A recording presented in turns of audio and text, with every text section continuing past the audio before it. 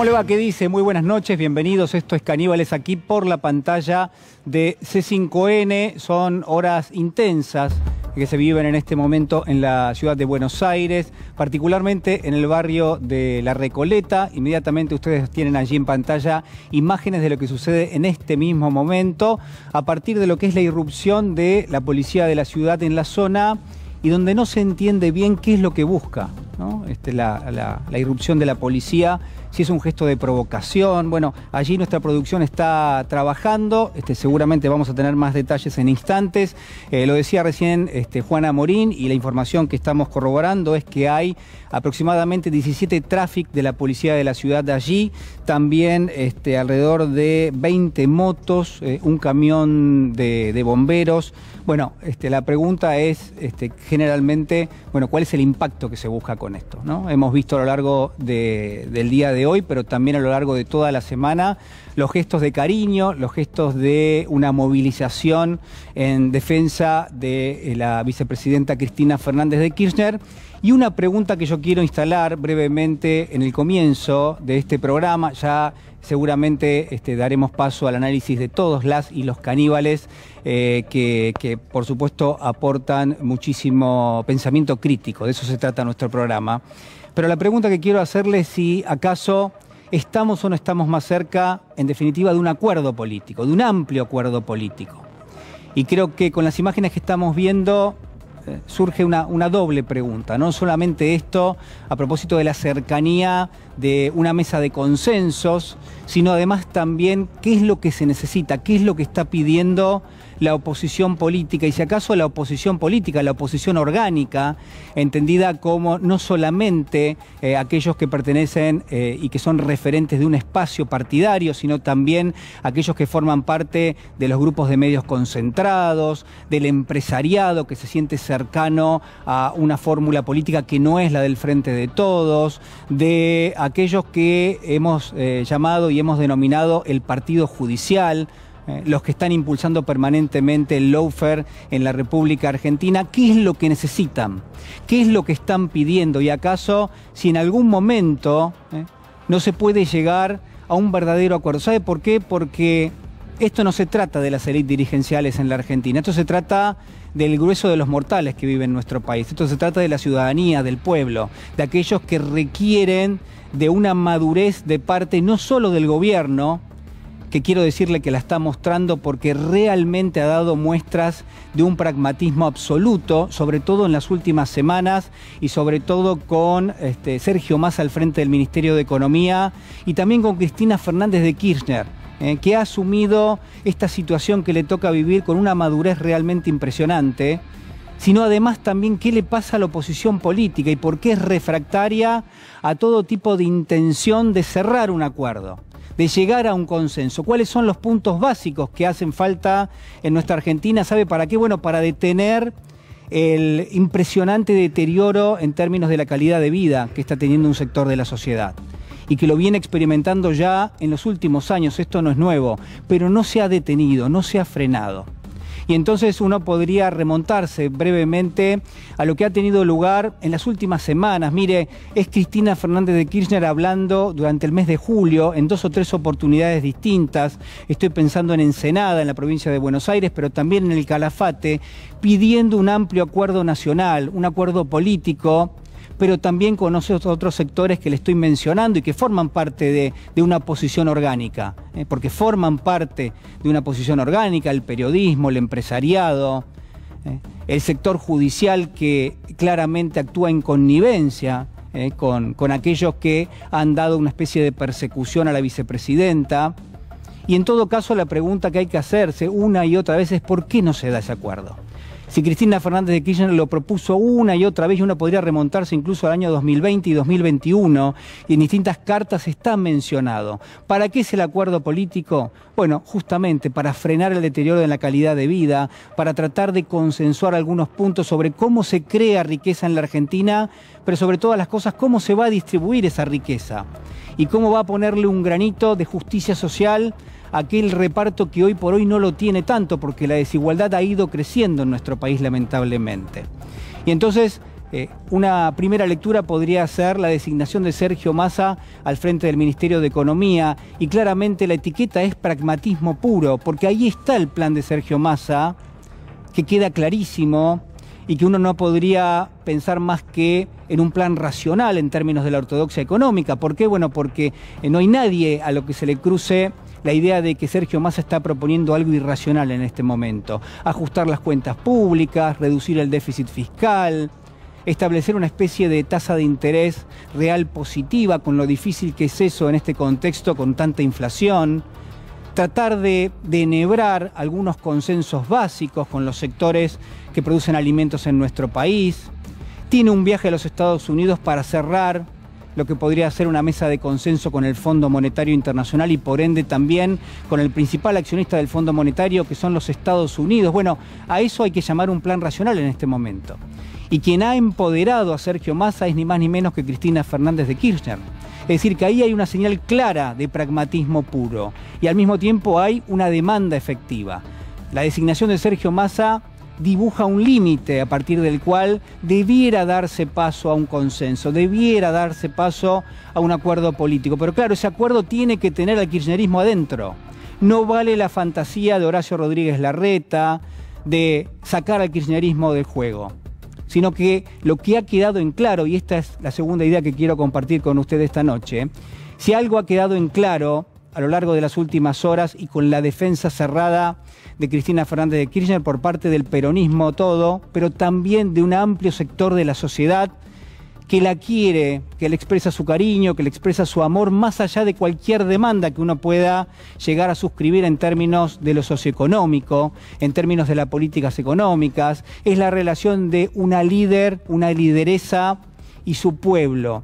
Y no hay nadie que pueda replicar eso, no hay nadie que pueda imitar eso eh, claramente por parte de la dirigencia política. Entonces, más allá de cualquier otra cuestión, si algo también ha quedado claro en las últimas horas, es que es con Cristina Fernández de Kirchner adentro de la discusión.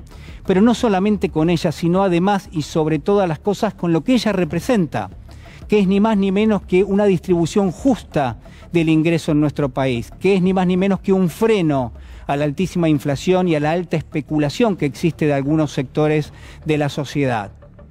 Y entonces la, pregunta y el interrogante es ¿por qué no se da? ¿A qué le ha dicho que sí la ciudadanía y a qué le ha dicho que no? Esbozando una defensa de Cristina Fernández de Kirchner en función de lo que fue la desmesura de la acusación por parte del fiscal Luciani, de cómo ese andamiaje mediático se montó casi desproporcionado eh, para tratar de, de generar una especie de sentencia mediática. Bueno, y a raíz de todo eso, ¿a qué le dijo que sí y a qué le dijo que no la ciudadanía? Le dijo que sí a una forma de hacer política, que es la forma que tiene Cristina Fernández de Kirchner y que ha tenido el kirchnerismo históricamente. Le dijo que sí a la posibilidad de defender intereses de aquellos que menos tienen en la República Argentina. Le dijo que no al lawfare, le dijo que no al odio, le dijo que no a esa forma violenta de proscribir a aquellos que no piensan como uno tan típica de la derecha en la Argentina y que uno podría remontarle incluso hasta en términos históricos. En definitiva, lo que quiero plantearle esta noche es que el gobierno, en sus distintas acepciones y con la figura y la centralidad que tiene Cristina Fernández de Kirchner, ha asumido una posición de pragmatismo puro y ha demandado un acuerdo amplio en términos políticos con todos los sectores dirigenciales que tienen una relevancia en la toma de decisiones. Pero lo que usted está viendo en pantalla es que hay un rechazo del otro lado. Lo que usted ve en esos móviles policiales es ni más ni menos que eso. Es decir, hay efectivamente una situación de, refracción para lo que está proponiendo el gobierno. Todo el gobierno. Lo tenemos allí a Hernán Nucera, nuestro compañero. Hernán, ¿cómo estás? Buenas noches.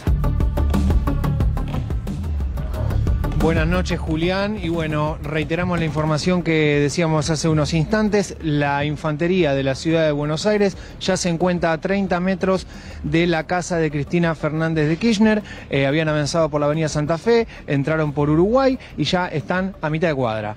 Eh, en este momento no se entiende bien qué es lo que están haciendo porque, repito la información que dimos más temprano, Cristina pidió a su seguridad que baje, nos diga a nosotros, a los medios de prensa, a los militantes que estaban haciendo la vigilia, que se queden sobre la vereda, así liberaban la zona del tránsito en el barrio de Recoleta, que era uno de los pedidos que había hecho Horacio Rodríguez Larreta, el jefe de gobierno porteño. De esta manera, la circulación de la calle está totalmente liberada y si ahora está cortada es porque se encuentran estos 17 camiones de la policía y acaba de llegar también el camión hidrante. No sé si pueden ver en imágenes, es incontable la cantidad de policías que están postrados acá sobre la calle Uruguay en el barrio de Recoleta y nosotros nos preguntamos con qué objetivo. En el momento que nosotros llegamos con la cámara, estaban formados con los cascos eh, y eh, arma en mano. Eh, nosotros escuchamos una modulación de quien puede llegar a ser el líder del objetivo, el perdón, del operativo. no sabemos quién era, pero se refirieron que al haber medio de comunicación, por ahora no iban a avanzar. Nosotros somos la única cámara que está en el lugar el único medio que está transmitiendo esto. Y de esa manera dejaron de formarse, se sacaron los cascos y ahora están descansando esperando las nuevas órdenes, Julián. Eh, Hernán, a ver, hay, varias preguntas que, hacerte. Eh, la primera es, bueno, eh, ¿qué, cantidad de personas está allí? Me refiero a, la militancia que acompaña a Cristina Fernández de Kirchner en este momento allí en el barrio de Recoleta. Ahí nuestro camarógrafo Martín Palma acaba de girar para que vos lo puedas ver. No llegan a 100 personas en este momento. Cuando Cristina llegó había una multitud. Cristina subió a su departamento y la gente pacíficamente, con, algunos cantos y, demás cuestiones, pero con cero violencia, se retiraron del lugar. Quedó la vigilia más o menos que venía haciendo en los últimos días antes del vallado que dispuso Horacio Rodríguez Larreta que debían ser aproximadamente 30 personas, sobre la vereda, de manera pacífica, en silencio, para no molestar a los vecinos, que era alguno de los reclamos. Así que no, no tienen ningún tipo de excusa para montar este brutal operativo, y digo brutal por la cantidad de efectivos policiales, camiones y el carro hidrante no tiene ningún tipo de sentido en este contexto, Julián. Sí, a ver, eh, lo, otro que te quería preguntar eh, es, hay allí eh, una persona filmando, ¿no? Nuevamente de, la policía, por lo menos una persona que tiene una gorrita, ahí lo podemos ver, este, esto ya se está volviendo costumbre. Sí. Este, pareciera, bueno, un trabajo de inteligencia, ¿no? Siempre. Exactamente. Ayer Leopoldo Moró al aire con Daniela Ballester decía que eh, las cámaras de la policía de la ciudad lo que tienen que hacer es grabar el accionar de la policía, no hacía los militantes, no hacía los departamentos como el de Cristina que hacían ayer. Yo me voy a acercar a ver si tengo la suerte de que me respondan, lo dudo, pero para saber eh, por qué están acá, siendo que ya no hay gente. Disculpen, ¿cómo andan? Estoy en vivo para C5N, ¿les podría molestar con una consultita? Sí, 940. ¿Alguien me podría decir por qué se encuentran acá? ¿O con quién podría hablar? ¿Hay alguien con el que pueda hablar hoy? Por el momento no, señor. ¿Van a marchar hacia la casa de Cristina? No. ¿Se van a quedar acá? No sé, jefe. Bueno, eh, como era de esperarse, no tenemos suerte, eh, así que vamos a dejar de intentar porque es como hablar con una pared en este sentido. Así que nosotros seguimos esperando acá a ver cuál es el accionar de la, de la policía. Ahora acaba de llegar otra cámara de un medio colega. Digo, porque es importante que estemos los medios, porque evidentemente en el momento que iban a hacer ingreso por la calle Uruguay hasta Juncal, que es la esquina de la vicepresidenta, al ver los medios de comunicación se detuvieron. Bien, sí, todo, todo, todo resuma a, una situación de, provocación, ¿no? Eh, muy parecido a lo que tuvo lugar en el día de ayer, donde uno veía que realmente estaba la intención de, este, yo digo, de, intervenir en esa, en esa movilización eh, en respaldo de Cristina Fernández de Kirchner, en desvirtuar ¿no? lo que estaba sucediendo, que era una demostración de amor, de cariño hacia, hacia la referente de, un gran espacio político en la República Argentina, para que pasemos a hablar de este, gases lacrimógenos, para que pasemos a hablar en, una especie de, retórica que por supuesto les es mucho más cómodo a algunos, ¿eh? porque este, claramente está delimitado lo que uno va diciendo y tiene que ver con la cuestión macartista. Digo, eh, hay gente que, este, que todavía extraña ese tipo de cuestiones pero donde claramente, digo, se trataba de una provocación lisa y llana. Así que, eh, Hernán, vamos a, vamos a estar este, permanentemente transmitiendo desde allí, vamos a pedir al señor director que mantenga en vivo la imagen en, un wiper mientras nosotros vamos haciendo nuestro programa. Nuestro programa va hoy hasta las 12 de la noche, este, así que eh, vamos a estar este, permanentemente haciendo nuestra vigilia aquí en eh, en C5N porque por supuesto nos interesa muchísimo lo que está sucediendo allí y también hay mucho para analizar, ¿no? Porque cómo, entender esto que, que usted está viendo en pantalla más allá de la cuestión que muchas veces se esboza, uno leía esta mañana a referentes del espacio de la ciudad diciendo, bueno, esto está para proteger a aquellos que se van a movilizar o que se movilizaron. Bueno, claramente digo, no, no fue lo que uno vio en el día de ayer. Eh, ya comienzo, gracias Hernán, y vamos a estar allí este, cuando, cuando vos lo dispongas. Eh, Natalia Salvo, buenas noches, ¿cómo estás? Buenas noches, Julián, ¿cómo estás? Bueno, estuviste ayer. Estuve ayer, efectivamente, y qué suerte que hay medios para constatar lo que está sucediendo. porque muchas veces hablamos de la realidad que se replica a través de los medios y parece ser que lo que no transmiten los medios no existe. Bueno, ayer lo que sucedió es que las fuerzas policiales estaban esperando para una cacería eh, la provocación y lo hicieron con dirigentes políticos. Hemos visto esas modulaciones por parte de las fuerzas de seguridad que el ministro eh, Larroque no tenía fueros, intentaron hacer lo propio con el gobernador y después se viralizó el video a Máximo Kirchner con un policía que, no voy a reproducir, lo puse en las redes sociales, manifestaba varios improperios con el diputado que quería ingresar a la casa de su madre. A mí me parece que muchas veces teorizamos y hay que decirle a la gente esto. Hablamos del Estado gendarme, justamente ese Estado que aplica la fuerza de seguridad en contra de las mayorías y en violación a la ley, mm. porque esto ya es una violación flagrante. La ley de inteligencia que justamente prohíbe las filmaciones que vimos y que naturalizamos por motivos políticos, sin orden judicial, a los cuales el macrismo no tiene acostumbrado. ¿no? Y esto hay que verlo para qué y por qué. No toleran, por supuesto, la movilización popular sí. y un último concepto, la famosa grieta, ¿la recuerdan? Tantas veces traía a colación con las bolsas mortuorias, con la horca para Cristina Fernández, la selectividad en las movilizaciones, las del complejo exportador son unas movilizaciones y la del pueblo son otros. Bueno, hoy Enrique Arias Giver, un juez, ex juez laboral, decía en el cohete a la luna, lo peor que hay para perpetuar las desigualdades de una sociedad es sentarse sobre esta grieta que es constitutiva porque nuestra sociedad se ha forjado en función de esa grieta. Incluso las igualdades del Estado vinieron de la mano, y lo hablamos con el gallego recién, del el ejercicio de cierta violencia. Entonces lo que quieren es acallar a esa grieta para tener la paz de los cementerios. Eh, José Manuel Ubeira, ¿cómo le va? Buenas noches. Buenas noches. Bueno, este, lo vimos diciendo. A ver, me dicen que tenés el, mic eh, cortado. Ah, bueno. Eh, así que lo. A ver, ahora, ahora lo vamos a. Lo vamos a a restaurar, ¿eh? como se dice. Eh, Úrsula Vargas, buenas noches, ¿cómo estás? Buenas noches, Julián, ¿cómo estás? Em, la verdad que sorprendida por los últimos acontecimientos. Nunca pensé que iba a estar de acuerdo con López Murphy. Eh, escribió en su cuenta de Twitter, no, de verdad, son, son ellos o nosotros. Y, y me parece que llegamos a un punto de algo que venimos diciendo en este programa, que tiene que ver con que no hay posibilidad de diálogo, de consenso, de coso con cierta parte de, la dirigencia opositora.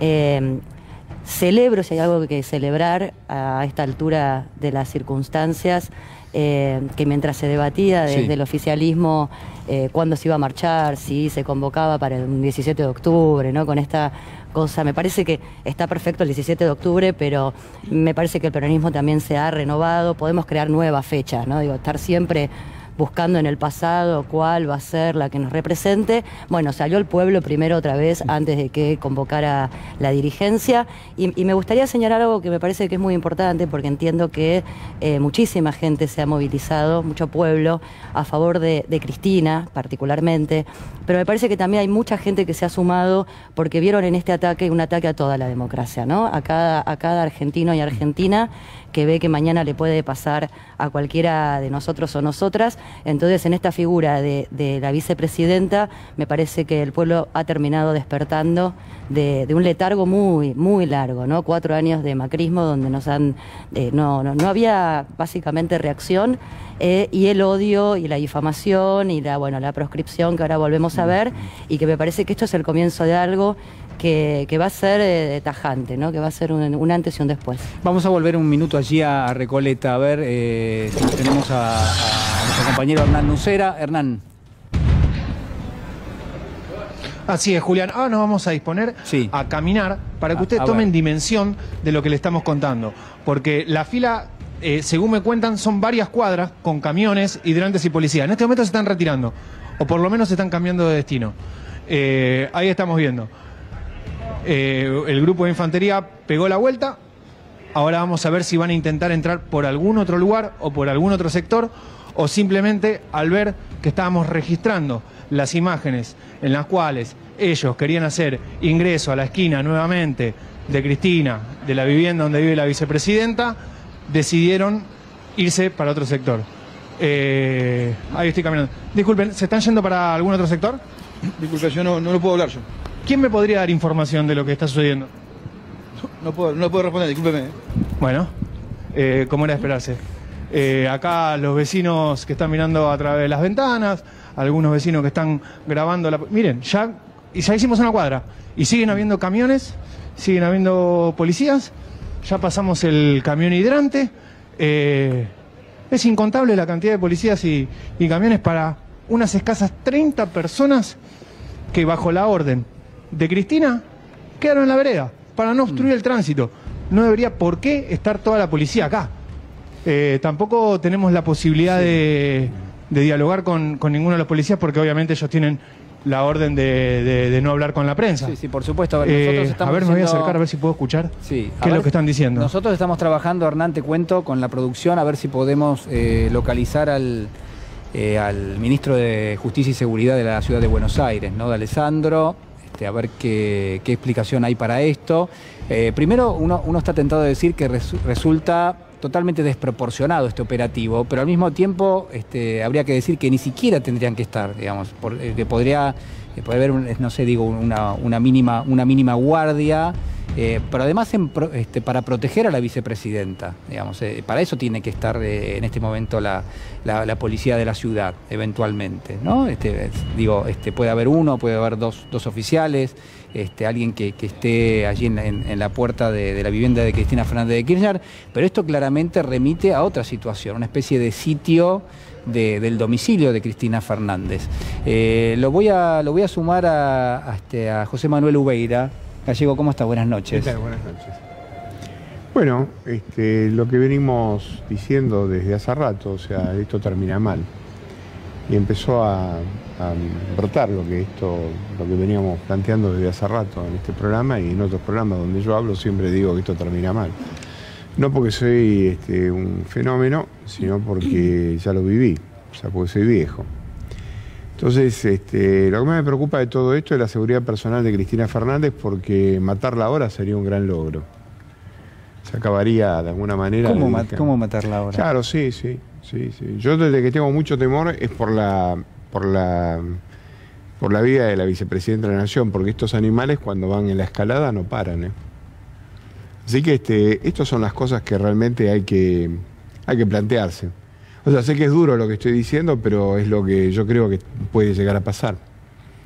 Entonces, estas provocaciones que estamos viendo vinculadas al tema de la policía y el tema de la represión, este, no tiene otro objetivo concreto que intimidar, que generar miedo. Entonces, este, por la que tenemos que por la que tenemos que velar es porque no le pase nada a ella. Así que yo si fuera Aníbal Fernández, el presidente de la Nación, realmente haría un planteo muy, muy concreto, porque yo no sé si estos que están ahí vestidos de policía de la ciudad de Buenos Aires, no sé quiénes son. Yo después de ver el trato que le dieron al hijo de Cristina Fernández, diciéndole la concha de tu madre, este, en el mismo momento que ella quería ingresar al domicilio, no me garantiza absolutamente nada, porque ellos no son policías que están para preservar el orden público, sino para garantizar una decisión política del gobierno de la ciudad de Buenos Aires, que son dos cosas completamente distintas. Entonces, por eso que se rechaza el amparo, por eso que está pasando lo que está pasando. O sea, yo la verdad que no quiero ser portador de malas noticias, pero la verdad es que la veo venir. O sea, no, no, no sé dónde es que termina la escalada esta. Bueno, si alguien eh, de alguna manera este, se anticipó este escenario fue, fue el doctor Ubeira, que hace ya varias semanas viene planteando este, que uno no sabe dónde termina esto que se ha generado, ¿no? Este, y que realmente aquellos que imaginaron que quizás, este, lo que yo decía, la desmesura en, en una especie de acusación cruzada contra Cristina Fernández de Kirchner en el marco del juicio Vialidad no iba a generar una reacción, generó una reacción. Pero al mismo tiempo lo que vemos es, eh, esto es una especie de, reacción a la reacción. Eso digo. O sea, esto es el problema. Entonces yo no, no visualizo que allí estemos para garantizar el orden público. sino lo que estamos tratando es de reprimir este, cualquier tipo de manifestación. Yo entiendo que por ahí a lo mejor puede haber modos de conducir esa manifestación y por ahí a lo mejor hay que buscar el espacio, el modo, la forma, pero la- el tema del vallado y lo que yo ayer vi a la noche que se viralizó y todo este tipo de manifestaciones, o sea, uno preguntando si tiene fueros o no tiene fueros, ese tipo de cuestiones, realmente este, ponen muy de manifiesto de que esto no está para cuidar a la vicepresidenta de la República. Que entre paréntesis recordemos que está es, ejerciendo el rol de vicepresidente de la República. Si estas son las garantías para el vicepresidente de la República, imagínate la que le toca a Cacho, increíble, ¿no? Increíble. Que Dios te libre y te guarde. Eh, Hernán, volvemos allí, que te vemos, eh, te vemos caminar y recorrer el operativo.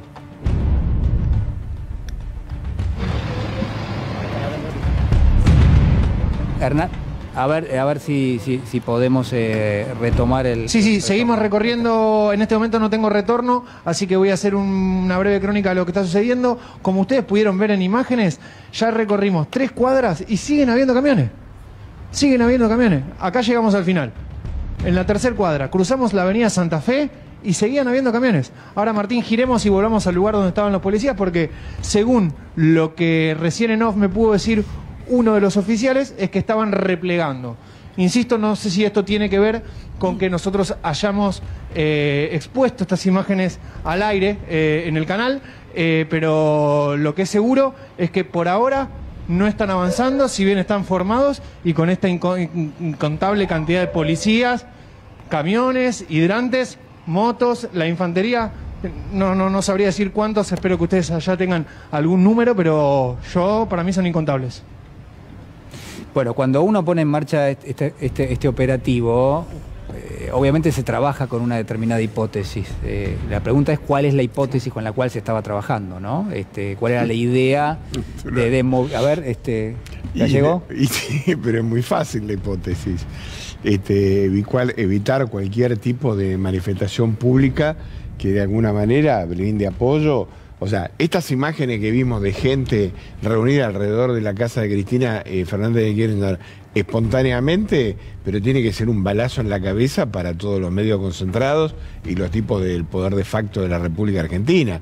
O sea, que la gente se movilice en el cuadro donde ellos hagan a pasar el caniche es un- una complicación enorme. Es muy difícil de poder tragarse todo Y eso. sumado a que ayer se tuvieron que ir, ¿no? Digo, me parece que complicado. ayer como tuvieron que retroceder, ahora esto es una demostración claramente de, de fuerza, ¿no?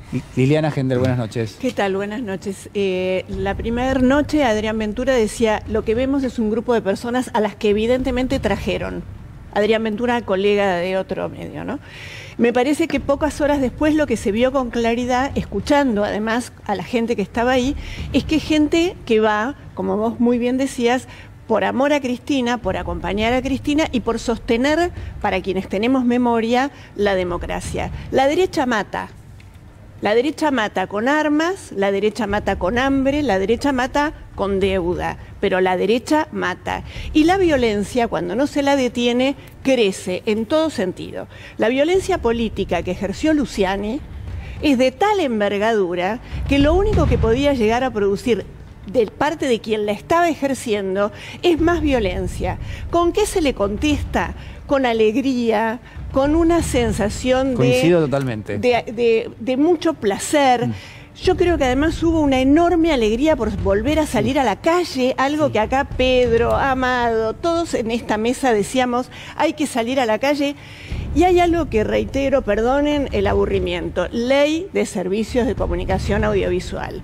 En todo el país hubo marchas y nadie se enteró. Mi mamá ve Canal 13 y les juro, no se entera. Entonces me parece que el pueblo tiene derecho a informarse. Si les gusta más, la ciudadanía tiene derecho a informarse. Y ahí acabamos de ver una situación particular. Nuestro colega Hernán, Hernán Ucera, pregunta, ¿ustedes qué hacen acá? Y el señor puede darse vuelta y no contestarle. Aquí hay algo que tiene que ver con la consideración de que cuando alguien pregunta, el otro, sobre todo si es un policía, responde. Esta gente, el macrismo en general y quienes vivimos en la ciudad de Buenos Aires lo sabemos porque lo padecemos, considera, casualmente igual que los jueces, que no tienen que dar explicaciones que una puede preguntarles y ellos pueden no contestar. No importa si se trata del negociado que van a hacer en, en la costa, o si del acarreo de los coches, o de si la, la violencia que ejercen en la calle. ¿Quién sos? ¿Qué haces acá? Señor Larreta, explíquenos por favor, usted es el intendente, ¿por qué en este momento hay allí policía que está armada? Vimos ayer a un colega lastimado en la calle, ¿no? Ezequiel Guasora. Ezequiel, realmente fue muy angustiante verlo. Eh, y, te- y además dos containers con piedras, Yo los vi, No, pasé por con el- cascotes. A ver, muchachos. Lo estaban, lo pusieron, Lili, a- a- mandaban el video que lo pusieron a la mañana y yo cuando me estaba retirando a las seis y media de la tarde estaban sacando el container, porque uno puede tener la buena fe de suponer que esas piedras estaban, porque bueno, se había desalojado Por una obra en construcción. una obra en construcción rara, Sí. pero en tres horas Sí. esas piedras llegaron y luego se retiraron. y no se las usó, porque la gente que estaba ahí, la verdad es que no las usó, no las tocaron, con lo cual me imagino que están cada vez más enojados y esto significa cada vez mayor violencia y en este punto lamentablemente coincido con el gallego. Quiero saludar a Amado Budú y a Pedro Peretti que ya están con nosotros. ¿Cómo están? Buenas noches. ¿Cómo estás? Muy buenas, muy buenas noches, si es que se puede decir a esta altura de, de los acontecimientos en la República Argentina. ¿no? Acá en este programa veníamos diciendo que hay una situación cívico-judicial. Bueno, ahora le podemos agregar cívico-judicial-policial. O sea, la utilización de los aparatos del Estado para montar un escenario de violencia y de caos premeditado. Y aparatos de Estado en sentido amplio, no solo la propia institucionalidad del Estado, sino también todos los mecanismos por los cuales circula la violencia y el intento, el intento de caos. Mirá, cuando venía hacia acá, por la calle Santa Fe, yendo de, digamos, en sentido de 9 de julio hacia Callao, Sí. eh, me sorprendió a mano derecha tres cuadras, tres cuadras de vehículos de la policía de la ciudad de Buenos Aires, eh, con toda una simbología, ¿no? Eran todos vehículos de estos que son opacos, que la pintura es opaca, todos con las luces apagadas, todos con las licuadoras apagadas y ya sobre la vereda muchísimos efectivos de esos que andan con eh, escudo y, casco y sus uniformes de violencia. Y llamaba la atención porque no había movimiento eh, prácticamente sobre la avenida Santa Fe, pero eh, lo que decía el compañero recién, tres cuadras de vehículos, y te repito, con las luces apagadas y opacos y con las licuadoras apagadas, preparando esto que estamos viendo en vivo eh, eh, por la televisión. Pero, claro, acá se empiezan a juntar demasiadas cuestiones que van en el sentido de lo que decía el gallego Ubeira, ¿no? Eh, por un lado, hubo un montaje de incitación a el desorden hecho desde el gobierno de la ciudad de Buenos Aires. Ayer fue un día, yo estuve en la ciudad de Córdoba eh, con unas actividades hermosas organizadas por la Cámpora, de formación, incluso en un auditorio público en el centro de la ciudad de Córdoba. La noche anterior, esto que, que decía Lili, ¿no? hubo una movilización extraordinaria, multitudinaria y pacífica eh, a favor de, de Cristina Fernández de Kirchner en las calles de Córdoba también, que claro, no fue mostrada en ningún lado, y, y empieza a ser preocupante el cuerpo de Cristina, Eh, porque todos hoy estamos eh, un poco más aliviados de ver la movilización popular y, y esa sensación Sí. de que el, pu- el pueblo se puede expresar en la calle, pero yo cuando veía ayer eh, a Cristina Fernández de Kirchner, con todo lo que representa, bajando eh, a, a poder compartir un momento con quienes la fueron a acompañar, con quienes la fueron a cuidar, con las que le fueron, quienes fueron a darle fuerzas. Eh, digo, la verdad que eh, es- este cuerpo está atravesando demasiadas cosas eh, para que eso sea en democracia. Demasiadas cosas para que eso sea en democracia. Y la provocación y el desorden y, y la invitación al caos de en un día que en la ciudad de Buenos Aires ya se sabía por las redes, ya se sabía por medio de comunicación que había encuentros hermosos en plazas, Sí. eh, en distintos lugares de la ciudad, eh, atomizados, donde eh, había eh, mucha espontaneidad, además de, de organización. Sí. Y entonces, claro, quieren armar un punto de conflicto, un punto de concentración en un barrio que además eh, todas las expresiones que hemos visto en los medios dominantes, en los medios que, que llevan ese sentido común, que es el sentido de la clase dominante en la República Argentina desde el punto de vista económico, eh, eran atravesados por expresiones clasistas y racistas. A ver, ¿Qué eh, hace esta gente sí. acá en Recoleta? ¿Qué hace esta gente? Esta gente rompe, esta gente trae el choripán, esta gente se manifiesta, esta gente es ruidosa. Sí, sí, Bueno, ensucia, digamos. Había, había toda, todo- una, toda una saga de, de que expresiones busca poner la violencia ¿no? donde hay amor y paz, Sí. Que busca eh, poner eh, la cuestión de clase donde hay manifestación popular. Y quienes realmente están generando la violencia, eh, escondidos a través de este mecanismo de, de- de mediático. Pedro, ya estoy con vos. A ver, quiero, quiero mostrarles a todos esta, esta imagen tomada hace algunos segundos nada más. Uno se pregunta, bueno, con 20, 30 camiones de policía, ¿cuánta es la militancia que hay en este momento en el domicilio de Cristina Fernández de Kirchner? Esto que ustedes ven en pantalla. Miles serían. Peligrosísimo. Claro, en una actitud peligrosa, este, por- este, cientos y cientos que Claro. cortan la, la- Están- Pero la verdad es que ni siquiera, porque no, si uno quiere movilizarse, tampoco es, eh, digamos, eh, una legitimación de que allí tiene que haber un operativo policial, digamos. Uno quiere movilizarse, quiere manifestarse y no tiene por qué eh, entrar la policía de, de la forma en la que lo hizo en el día de ayer y de la forma en la cual lo está haciendo en este momento con esta militancia que estamos viendo en, en pantalla y quiero quiero darle Sí, quiero ir un minuto a Cuando ellos son violentos no los van Sí. a buscar, ¿eh? Digo, es decir, cuando salen con, la, Bueno. con la- las bolsas la guillotina, la policía mira para otro lado e incluso celebra que estén eh, puteando a la, Sí. a la vicepresidenta todos los días desde un tiempo a ¿Cómo esta alguien va a parte. andar con equipo de gimnasia y gorrito en Recoleta? Ahí No, empieza pero el bueno, problema. Amado, pero- Y el segundo problema, eh, disculpame, un- un- una cosa más. Ah, ¿Quién es violento? ¿El que recibe los golpes siempre es violento? Lo que es pasa es que acá hay un problema, hay un problema que acá se ha normalizado en la Argentina que se puede maltratar al kirchnerismo, que se le puede decir cualquier cosa. Eso está normalizado de hace mucho tiempo esta parte. Por eso pasa esto. Digo, acá me parece que es tiempo y está muy bien esta unidad que se generó en torno a la figura de Cristina Fernández de Kirchner, que hay que decirle basta de alguna manera. Digo, a ver, el Poder Ejecutivo, ¿por qué no puede decir, ahí estaba viendo una propuesta de Paco Duraña, ¿por qué no puede sacar un decreto de necesidad de urgencia y que las fuerzas federales asuman la custodia de los edificios públicos y de la vicepresidenta? Pareciera que están gobernando ellos, no nosotros. Ahora, se nos anima hasta el mago sin diente. Entonces, me parece que también hay que tener alguna personalidad para ejercer el poder de la manera que corresponde y no lo estamos haciendo. Lo estamos, o sea, el espectáculo de Cristina Fernández de Kirchner sola, sola, con su pueblo, enfrentando a todo y con la ingratitud de una parte del gobierno también, ¿no es cierto? Mirando para otro lado.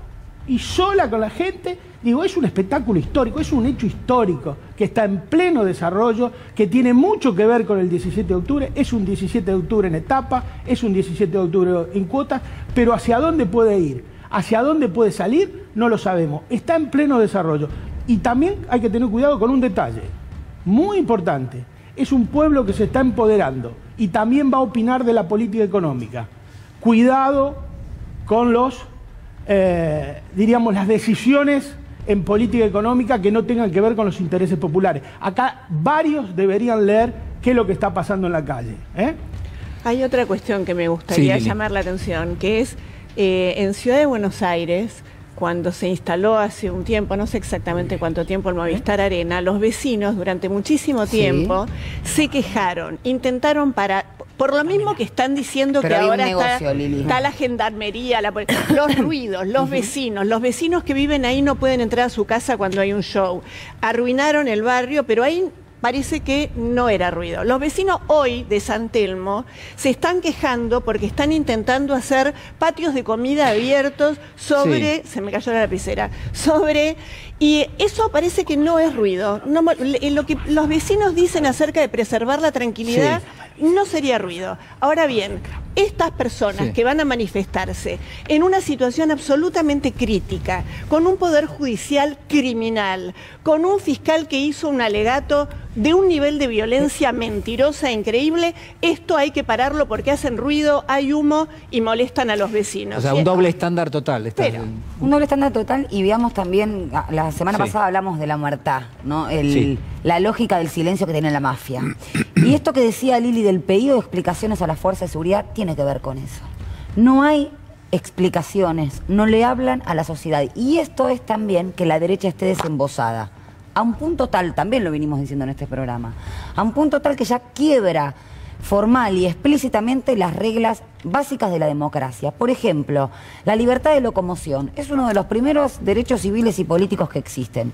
Sin embargo, esa doble vara ya la legitiman, por eso obtenemos a un López Murphy, como decía Úrsula, diciendo son ellos o nosotros, o esta gente no se puede manifestar.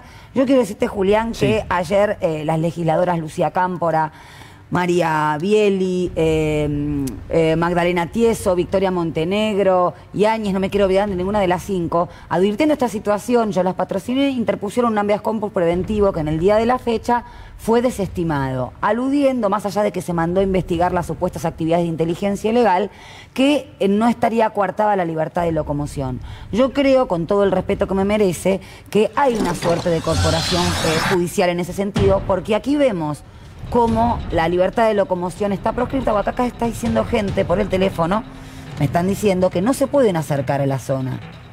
Que hay y, eh, eh, preguntas, interrogatorias acerca de para qué se va. Entonces, no existe efectivamente esa libertad de, de locomoción o de transitar Es la decir, ciudad. que, que- que un militante en este mismo momento no puede llegar a, Claro, a están, y eh, Uruguay. están, claro, están eh, limitando, Claro. reduciendo y disminuyendo ostensiblemente esa o capacidad sea, de circular. es para amedrentar que se está allí entonces. Totalmente, es disciplinador. Y además, lo hicieron con.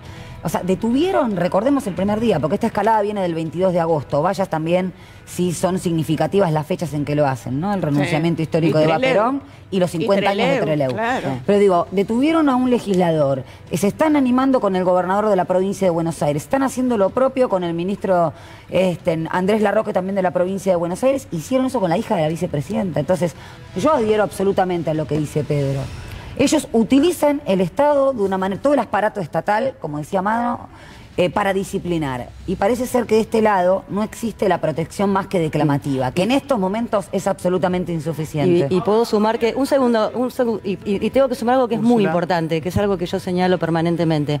Y tienen además a la justicia de su lado, bueno, al, al- al partido al partido judicial, Sí. que, que- que por eso también yo el otro día decía, son, son los nuevos, son los nuevos milicos, no necesitan las armas eh, y lo hacen a través de, de la justicia. Pero también tengo que reclamar, hacer un, llamado de atención puertas adentro de este gobierno, ¿no? Digo, no se puede eh, solamente opinar en Twitter lo que está pasando y una descripción y una palmoterapia a, a Cristina Fernández de Kirchner, nada, claro, y decir, no, está, yo ya sé lo que está pasando, no necesito que me relate el presidente cuál es la realidad que estamos viviendo. Necesito que se tomen medidas y, y obviamente frente a esto también alguien del gobierno tiene que salir. Es un intendente que está sitiando con, con la policía, una policía que la vimos enfurecida en el día de ayer, buscando que, que- que hubiese algún tipo de quilombo para, para poder reprimir y nadie, nadie con autoridad sale a decir algo. Pedro. todo la- el discurso de Cristina por TN. El doctor Nelson Castro estuvo buscando, atizando la violencia todo el tiempo y buscando algún conflicto. Y después una lectura. Una- Nelson Castro. Nelson Castro. Y después una lectura. Perdóname, perdóname que te repregunte. A ver si puede ser más explícito. ¿Qué era lo que hacía Nelson Castro? Estaba buscando que hubiera un conflicto, que se rompió un vidrio y resulta que empezó a romper un vidrio. El, el cronista constantemente dijo tres veces el cronista, bueno, nadie me ha molestado, he podido trabajar y constantemente, y ese vidrio, y ese vidrio, y cómo se rompió ese vidrio, y ese vidrio. Y el vidrio lo habían roto los policías con la valla, ellos lo habían roto con la valla hasta que se lo dijeron todos y se lo dijo el cronista. Pero lo peor de eso fue la interpretación histórica que hizo el doctor Castro sobre el inicio de la violencia en la República Argentina. Un tema que nosotros hemos charlado acá varias veces. Él adjudica el inicio de la violencia en la Argentina a los montoneros y al ERP. Antes no Eh, hubo y se olvidó de los bombardeos, Liga Patriótica de los fusilamientos no de León. Suárez, de los 18 años de proscripción, de cuando rapaban a los trabajadores ferroviarios en la huelga que le aplicaron el plan Conintes, de la detención del avión de cuando volvió el general Perón en Río Janeiro. Se olvidó de todo ese La Patagonia proceso. trágica. Bueno, eso se olvidó de todo ese proceso, de los 18 años de proscripción. Este proceso, este intento de proscribir a, Argenti- a- a Cristina, desde el punto de vista histórico, tiene mucho que ver con eso, porque como decía recién el gallego, no es que seamos genios, es que ya lo vivimos, es que ya lo vimos esto. Y esto conduce a una espiral de violencia entre argentinos que ya lo hemos vivido y que es responsabilidad de quién pararlo, esencialmente de la Cámara Federal. La Cámara, este no es un problema jurídico, este es un problema político que nos introdujo la justicia, el fiscal Luciani, la Cámara Federal y la Corte. Y deben pararlo ahí, deben desactivar todos los juicios contra Cristina y empezar a garantizar el derecho de no maltratar al kirchnerismo más, porque eso es lo que genera violencia. ¿Te puedo agregar algo en esta situación y preguntarle a Natalia y al gallego? A mí me parece que hubo una operación mediática judicial muy, muy, muy potente, muy torpe, que fue el tema de la proscripción. Nosotros hace rato que venimos diciendo, y el doctor Zaffaroni también lo hizo así, que el intento era de proscribir. Sí. Ahora, fíjate lo siguiente.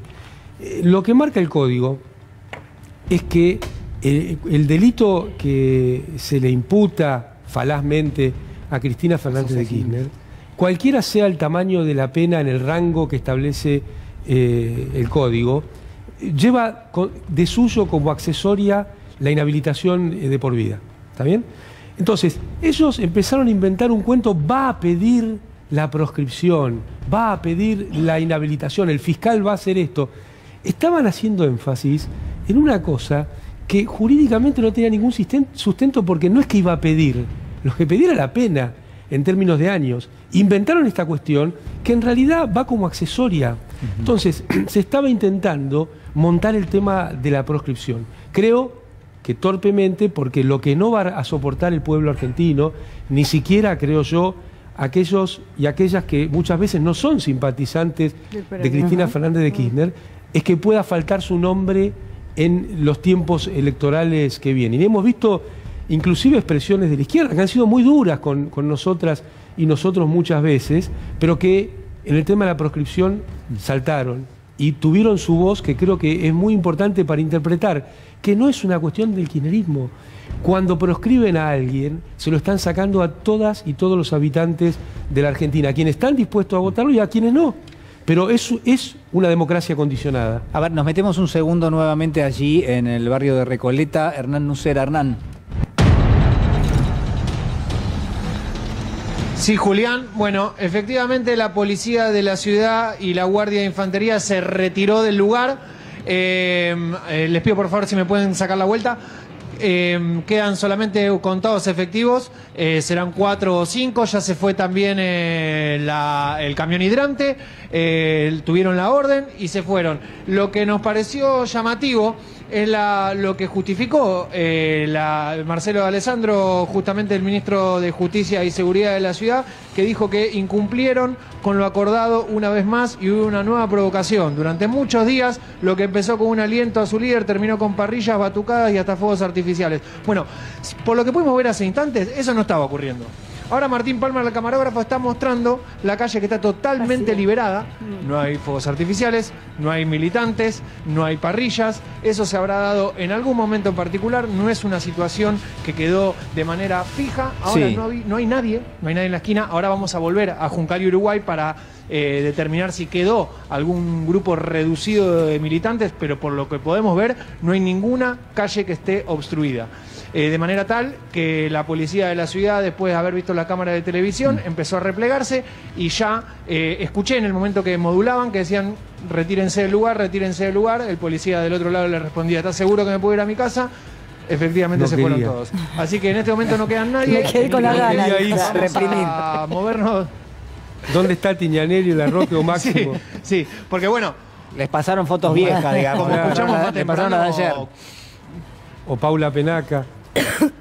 Como escuchamos más temprano, los policías eh, cuando tuvieron el momento donde detenían y golpeaban a Máximo Kirchner, también lo hacían con insultos, o sea que un poquito de Claro. saña también tenía eh, de manera personal quienes se agolpaban en esta zona.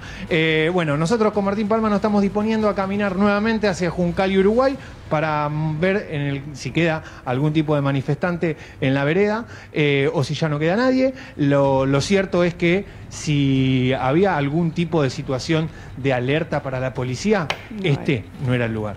Bueno, totalmente extemporáneo, ¿no? El- Pero ahí el- ves la el cuestión de clase y de raza que decía. Sí. Mirá lo que es el comunicado de un ministro de la ciudad, haciendo eje en el choripán, Claro. eh, en, la, En la en la batucada. bengala y en la batucada. Es, es de clase y es de raza y es en Recoleta. Ahora Ese es importante también, Amado, señalar que lo que salvó en algún sentido la situación es la presencia de la Cámara.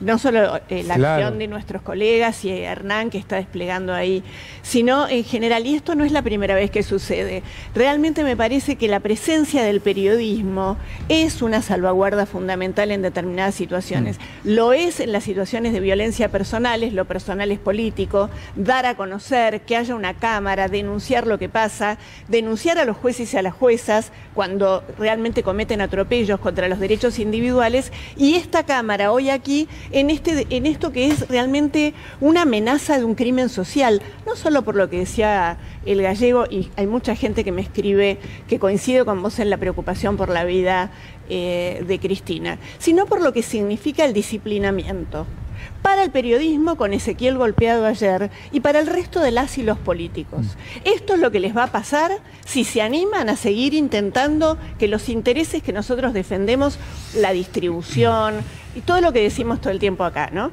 El salario, ir en contra del ajuste, bueno, esto es lo que les va a pasar al periodismo y a quienes se dediquen a la política. Gallego.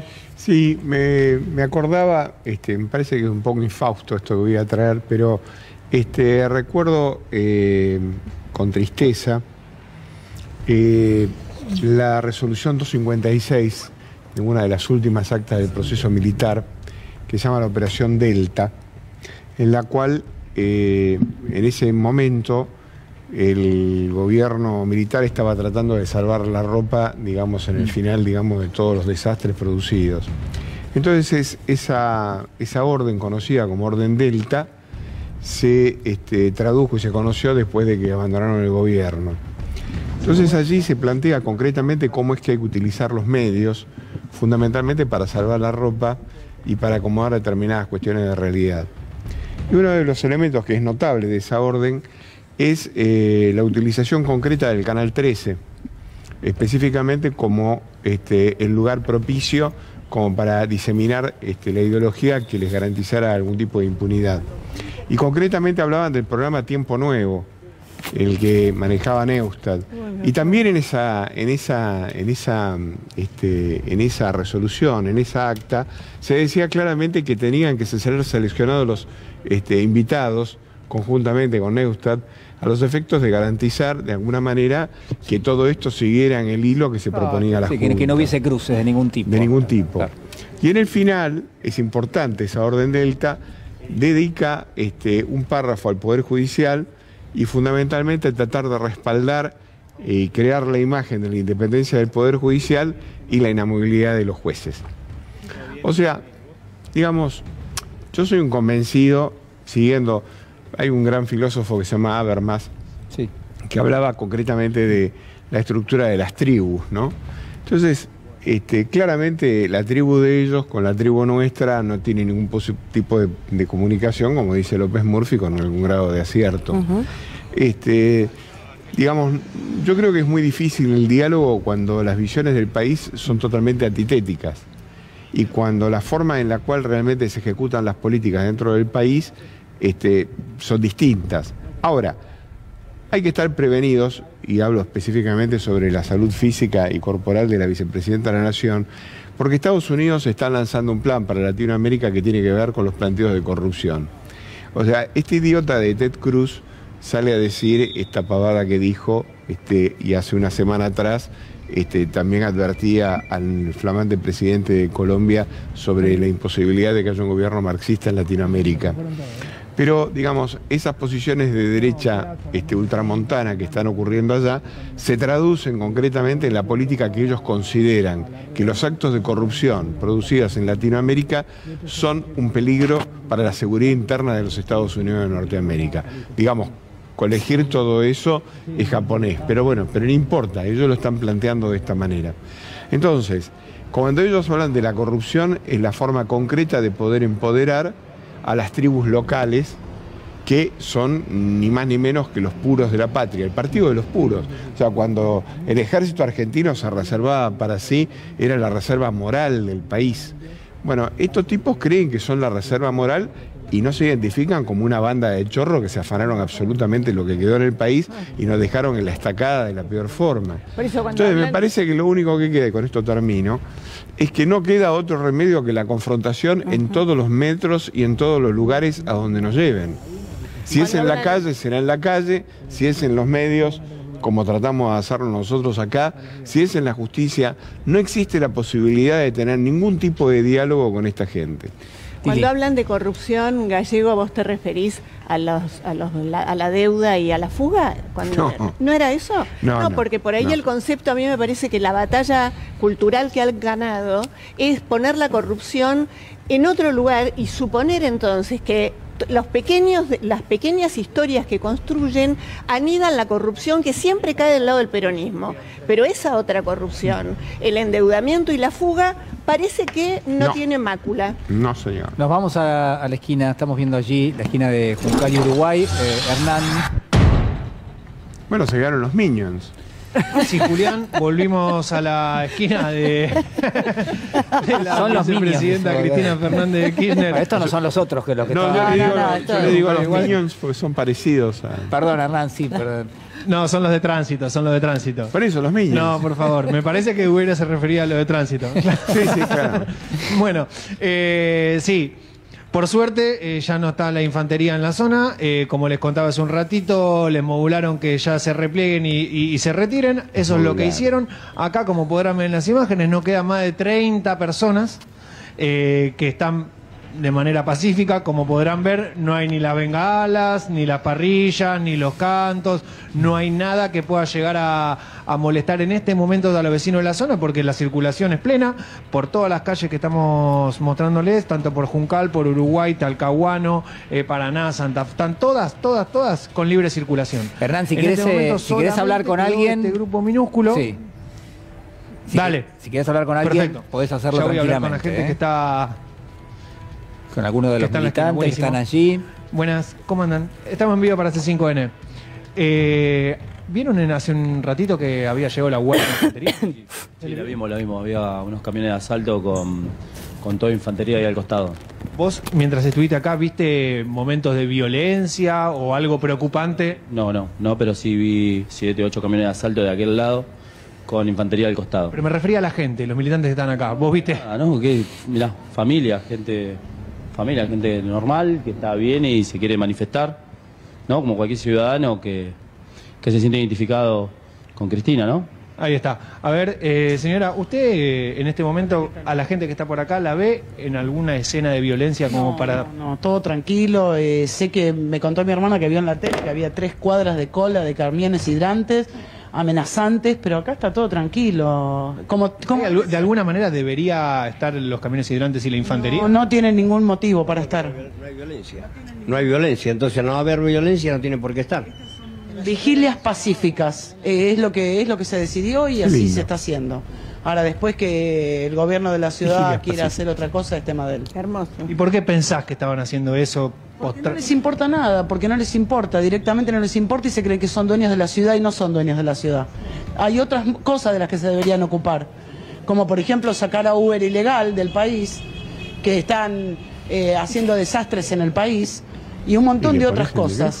Todo, gente todo lo que hizo, toda la, la infraestructura que hizo en Libertador, que destrozó la avenida. Hay montones de cosas que tiene que hacer y no precisamente venir acá a correr eh, a la gente que está acá con carros hidrantes. Una vergüenza lo que está haciendo la reta, una vergüenza. Ahí está, como pueden ver, lejos de haber, haber algún tipo de episodio de violencia, la gente se está expresando no solo con total Sí. normalidad, sino con paciencia. Eh, Hernán, A ver, es decir, que eh, nadie, ¿usted nadie rompió. al respecto? Perdón, La sí. nadie rompió ningún pacto entonces, digamos, como, como se Por favor, estaba, por favor. como se estaba manifestando. Nadie rompió ningún pacto, digo, eh, como, como decía el, el ministro de, de Justicia y Seguridad de la ciudad. Exactamente. Nadie, no- yo la verdad que no tengo al tanto cuál era el pacto del que hablaba el ministro, pero si, si se hablaba de que acá había hecho de violencia, parrilla, de batucadas o las cosas Ruidos molestos. Bueno, ahí a ver si se, se nos cayó el móvil. Eh, ya lo vamos a, a recuperar. Sí, Amado, a ver. Yo quiero volver sobre eso, porque Sí. es lo que dice Cristina. Cuando el ministro de la ciudad usa esa, esa parafernalia de hablar del choripán, de las bengalas, de la batucada, es porque va contra el peronismo.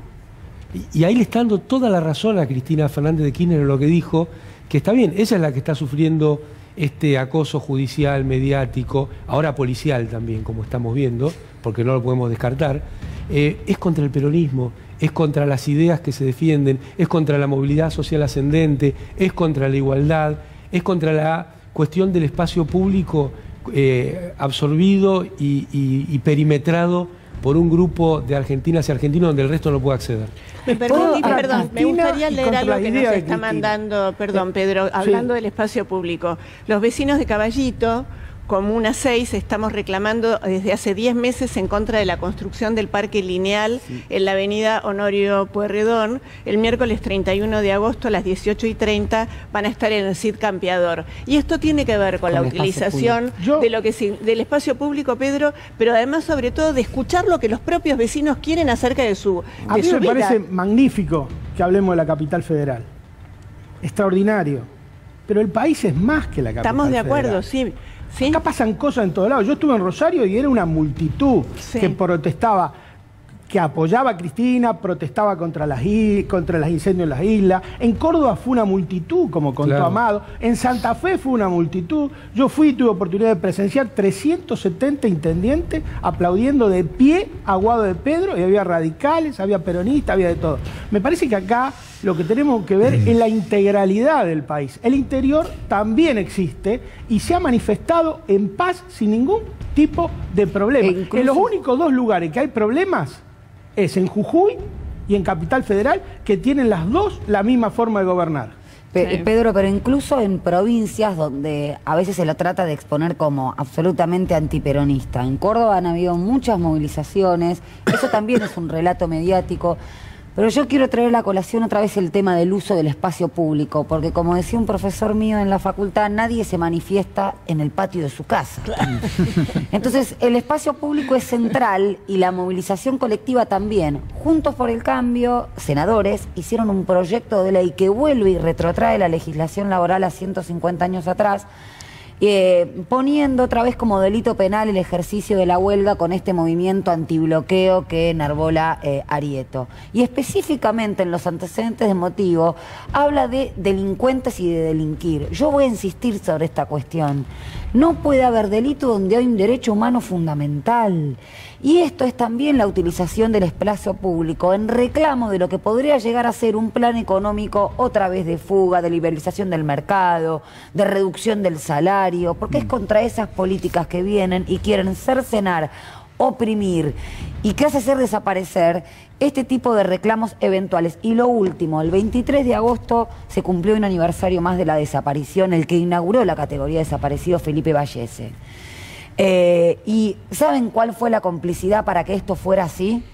Obviamente de las fuerzas policiales también fue en pleno espacio público, la policía que había hecho inteligencia previa, vivo a 10 cuadras de, ese lugar, o ahora se llama Felipe Vallejas, la, Vallese, perdón, la ex Canalejas, eh, le dijo a todos los vecinos que habían salido a defender a Felipe Vallese cuando estaba agarrando ese árbol, dirigente gremial y también de la resistencia peronista, que se alejen porque eso no les incumbía.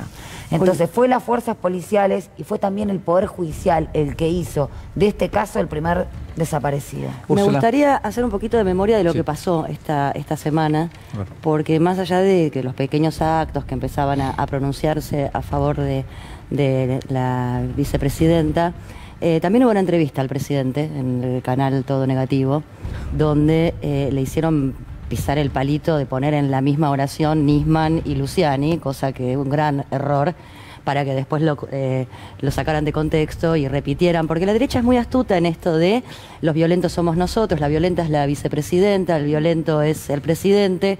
Y ocurrió un hecho que, que pasó desapercibido, pero que yo creo que cada vez más los vemos más radicalizados, ¿no?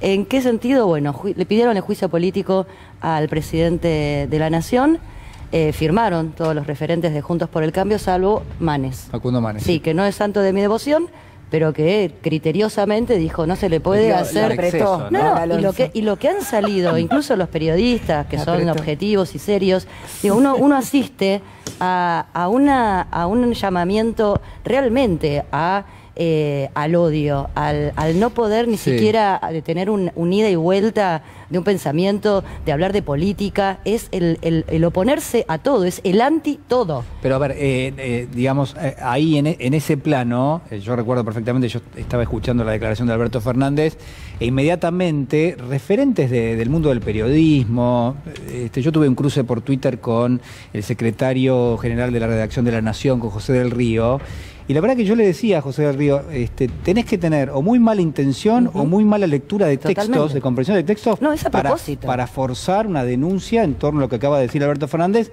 cuando claramente quedaba tergiversado Bueno, y pero- fuera de contexto. Y ahí volvemos digamos, entonces ¿no? siempre a lo mismo. La justicia que va a recibir esto. La justicia que va a recibir, por ejemplo, eh, la denuncia que le hicieron a, a Roberto Navarro por incitación a la violencia cuando quiso señalar la violencia del otro lado. Y la justicia no dice nada. Y los juicios políticos tampoco dicen nada la justicia. Digo, cuentan con, ese con este partido, con este poder, que responde a los, a los intereses de- del poder real. Y como dijo la vicepresidenta, no solo eh, lastiman al peronismo, o, o- o sí, ni siquiera lo dejan en, en muchas situaciones, sino que esconden las barbaridades del macrismo. Bueno, pero, pero justamente eso, eso de, de forzar el mensaje de Alberto Fernández eh, y, de, y, de, y de reunirlo con, con, este, con el nombre de, de Nisman, no habla de querer tapar eso que estaba sucediendo con Cristina Fernández. Bueno, de yo creo que- De que querer trasladarlo. A eso iba, me parece que em, la discusión la querían llevar a esta comparación y de repente fue mucho más eh, De fuerte eh, la salida de- de- del pueblo a... Pero vuelvo a repetir, yo creo que es las que quieren a Cristina, pero también los que vemos como pueblo vulnerados nuestros derechos, asistiendo a una justicia que ya es insoportable. Y creo realmente que tenemos que salir a las calles para que esta Corte Suprema eh, no esté más, no nos De represente. todas maneras, este, hay que mandar al presidente a escribir 100 veces, debo practicar mejor la ironía.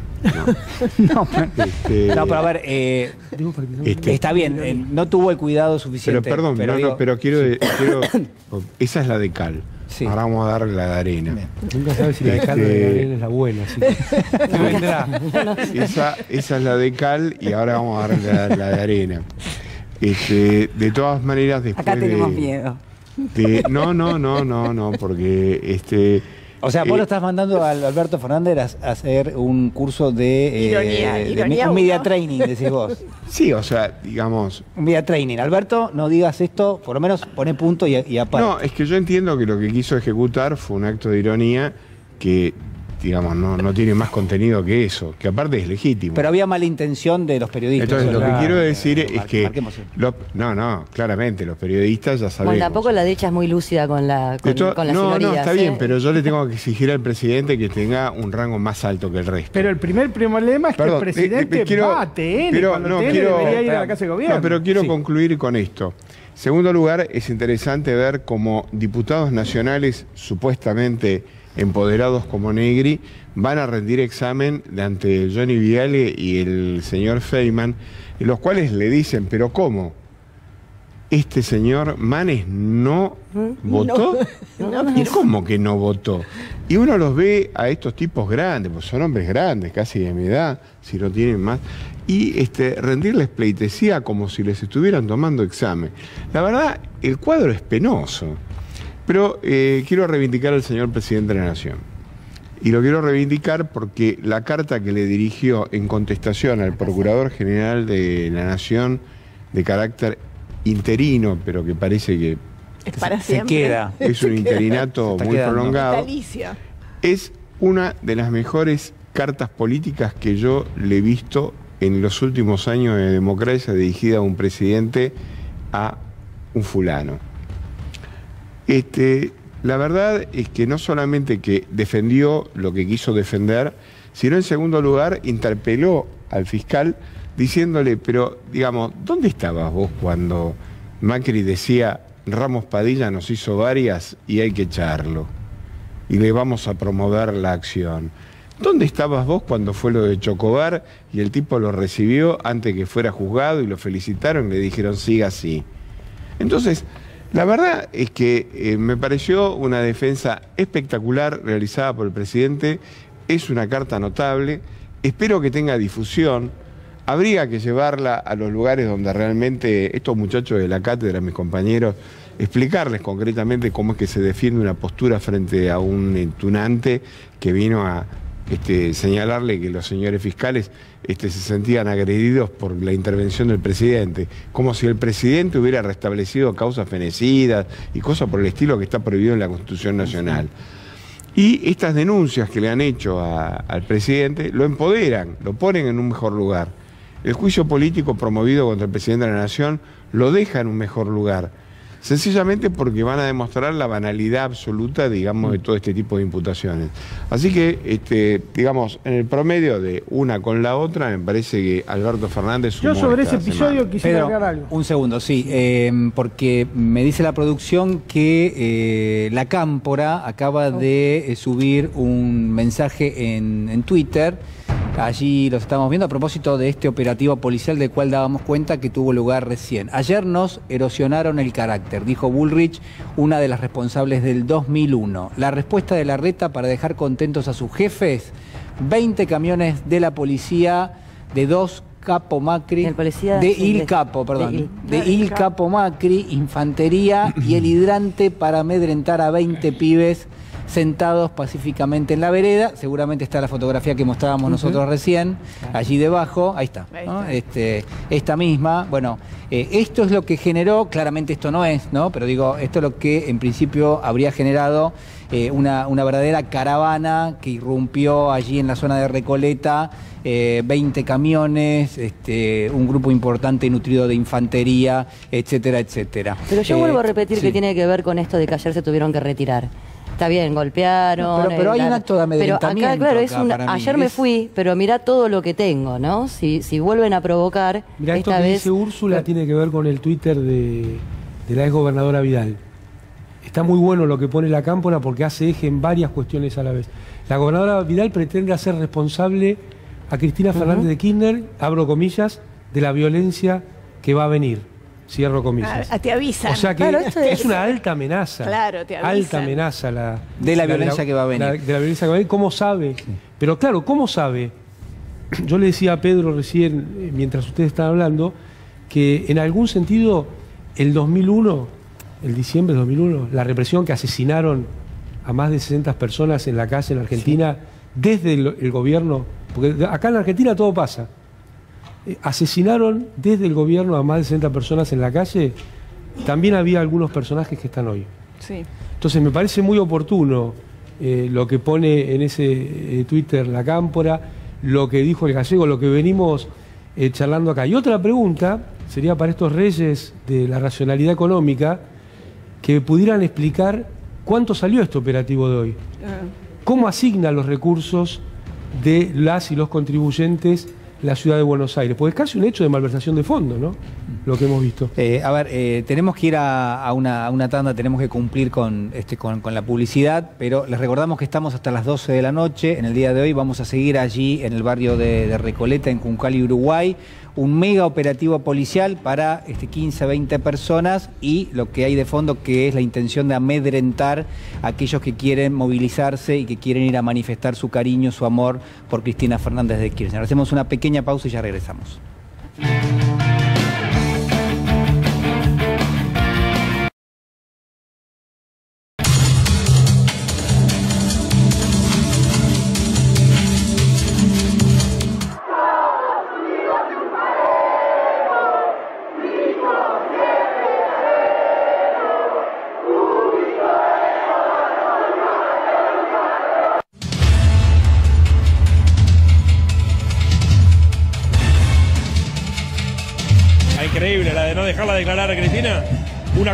En realidad todo el juicio una locura, ¿no es cierto? Vengo a expresar mi solidaridad a Cristina Kirchner, a repudiar toda esta cosa que tiene que ver con el partido judicial. Nuestro pueblo es sabio que cuando siente amenazados sus derechos, cuando siente que su futuro está en riesgo, se moviliza, sale a la calle. Presionaron, eh, atacaron, agredieron, violentaron tanto que finalmente el pueblo reaccionó y hoy hay un clamor popular, hay una necesidad de estar en la calle, de expresarse, de defender a Cristina. Respaldo absoluto, no solamente a la inocencia de Cristina, sino a la defensa de nuestro gobierno, que es el frente de todos, que también está siendo atacado. Estamos apoyando a Cristina, tremendo lawfare, que se termine todos los jueces corruptos. Por Cristina, lo que sea. Por Cristina todo. Mi vida por Cristina.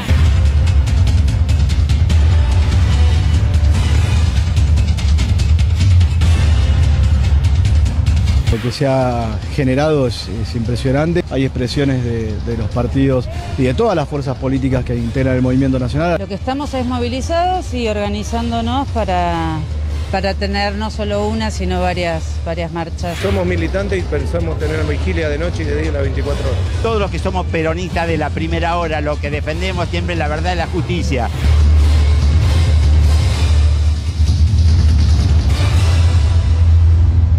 Creo que tratan de generar una provocación, claramente. En el 45 levantando los puentes para que el pueblo no, iba- no pueda manifestar su lealtad con el general Perón. Y ahora levantando muros, levantando vallas. Están sacando la valla acá.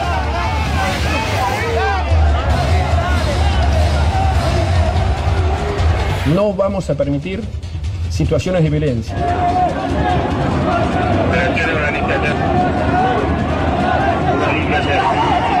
El día de hoy hubo escenas de violencia, fue aquí, en la ciudad de Buenos Aires y en la puerta de mi casa. Pero estamos viendo en este momento que acaba de, bueno, otra vez quebrarse la seguridad que proponía o intentaba proponer. Hacerse cargo de lo que quieren, exterminar al peronismo, que fue siempre lo que quisieron. Yo solo les pido que no abandonemos nuestras, nuestras convicciones nunca. Y sobre todo, ese indestructible amor a la patria que nos une a todos y a todas.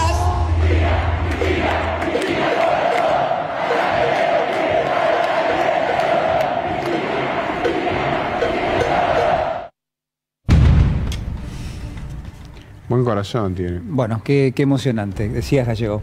Buen corazón tiene la señora. Este, hay que aguantar este, esta emoción constante de este, estar presionada por un lado y este, ver a esta gente. Tiene que ser una cosa muy importante.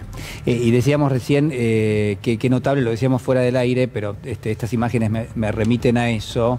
Eh, qué, qué- qué sensata, qué medida, qué conservadora la respuesta de Cristina Fernández de Kirchner en un contexto donde se vio violentada muchísimas veces y donde recibió hasta incluso la agresión eh, directa e indirecta por parte de, de la policía de la ciudad, a, a toda la militancia ¿no? que, que la había ido a ver. De todas maneras. Eh, y La- el mensaje de ayer, el mensaje es un mensaje de cariño, es un mensaje de amor, eh, a última hora de la noche, visiblemente agotada. Digo, ¿qué, este, qué, qué grado de madurez tiene este, y cuánto cuerpo de ventaja le saca al resto de la dirigencia política? Eso es lo que, eso justamente lo que quería apuntar es eso.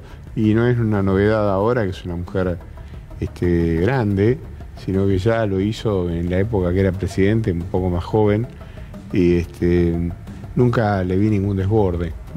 Entonces, este, digamos, me parece que una de las cosas que la pone como una líder indiscutida es que no pierde la noción de la realidad y no pierde exactamente La templanza, la sí. templanza frente a los problemas que se suscitan. Ahora, decirle este, a una mina que tiene más o menos la misma genética que yo, que mantenga este, algún tipo de tranquilidad en el discurso, es este, medio difícil, ¿viste? Es complicado. Pero, porque ellos también dicen el tono que utiliza, incendiario, flamígero, y qué sé yo, bueno, después que te pasa todo esto que te pasa en la vida, naturalmente. Yo lo que creo es que hay un límite que son los hijos. ¿no? Y este, el, maltrat- el maltratamiento del hijo para mí es eh, inconcebible. Este, lo que pasó ayer es una, un hecho de una gravedad enorme. Eh, hu- ¿Hubo trabajo de, de inteligencia de la policía para reconocer eh, en primer eh, plano a aquellos que formaban parte de la movilización Claro. y Sí, después irlos a buscar particularmente? Claro, claro, claro. No, no, sí, eso de- o sea, lo que se nota es eso. Ahí están trabajando todo lo que es la inteligencia de la policía de la ciudad de Buenos Aires para identificar, aislar y para estigmatizar. Pero además O sea, el hecho de que lo nombraran, muy bien hecho, ¿eh? el hecho que, no lo, que lo nombraran y que le digan, como vos bien dijiste al comienzo, eh, bueno, improperios, la concha de, ¿no? Y Sí, pero además este, Digo, no, pero- la cobardía con la Sí, homosexualidad. eso ni ¿no? hablar, además Eso es- no dejaba de ser también un, un- un- un hombre yendo a ver a su madre en esta situación, ¿no? Digo, también. Sí, pero aparte- además que la policía, la, la policía toma partido, Mm. que lo podría hacer, obviamente, de puertas adentro, pero a la hora de estar en una manifestación que te puteen por saber quién sos, es gravísimo, Pero no porque es como la decía policía, recién, es el- no, es son las, son las indicaciones indicaciones de sus jefes. y la bajada de línea. Por eso la no, responsabilidad Bueno, acá quiero- pero por la eso- tiene sin duda el Horacio Rodríguez Sí. Larreta. Horacio Rodríguez Pero por eso yo vuelvo a repetir que cuando son las manifestaciones de odio por parte de la derecha o en esa misma esquina, que también nos hemos cansado de ver a un grupito casi siempre de 10, 15 personas puteándola, Con la, la policía no solo se acerca y no hace absolutamente nada, sino que da puñito, ¿no? Y celebra lo que, les- lo que están haciendo. Digo, claramente esta policía Igual hay que- tiene una, bajada de línea que es, es un problema. Una nota equilibrada habría que tocar el, tele- el timbre a la señora del sexto. A ver qué piensa. No, eh, habló. No, habló y se- se No, no. recomiendo- Que la vecina de Sí, Cristina. espera, espera, habló y dijo que, Julián. era, que, se- que era- ¿Me que todo permitís? estaba pasando con mucha amabilidad, que realmente estaba todo el barrio bien y sí. que era todo con alegría. Les Eh, recomiendo Eso dijo la vecina. una nota de Sergio Rossi eh, sobre la vecina de, de Cristina. Realmente muy ¿Cómo muy se llama, buena. Pedro? Así la Sergio Rossi, eh, No, no, la nota. el viceministro de. La nota, de pero digo, Defensa. así la, la individualizamos. Sí, está, la tuiteé yo. Ahora el Ah, título bueno, ahora vos- no quería Sí, decir algo. No sé si recuerdan, lo estaba viendo recién en las redes sociales del periodista Juan Alonso, el tema de los datos biométricos y el espionaje que se hizo a esa cantidad a, a- a través de, de- de ese mecanismo y que incluso en su práctica habitual de eh, correr los jueces que le resultan incómodos, la jueza Elena Liberatori, que era la que estaba interviniendo, también tuvieron esa pretensión, Horacio Rodríguez Larreta, de correrlo. Digo, todo este armado es a los efectos de poder utilizarlo en situaciones como estas, como estas características.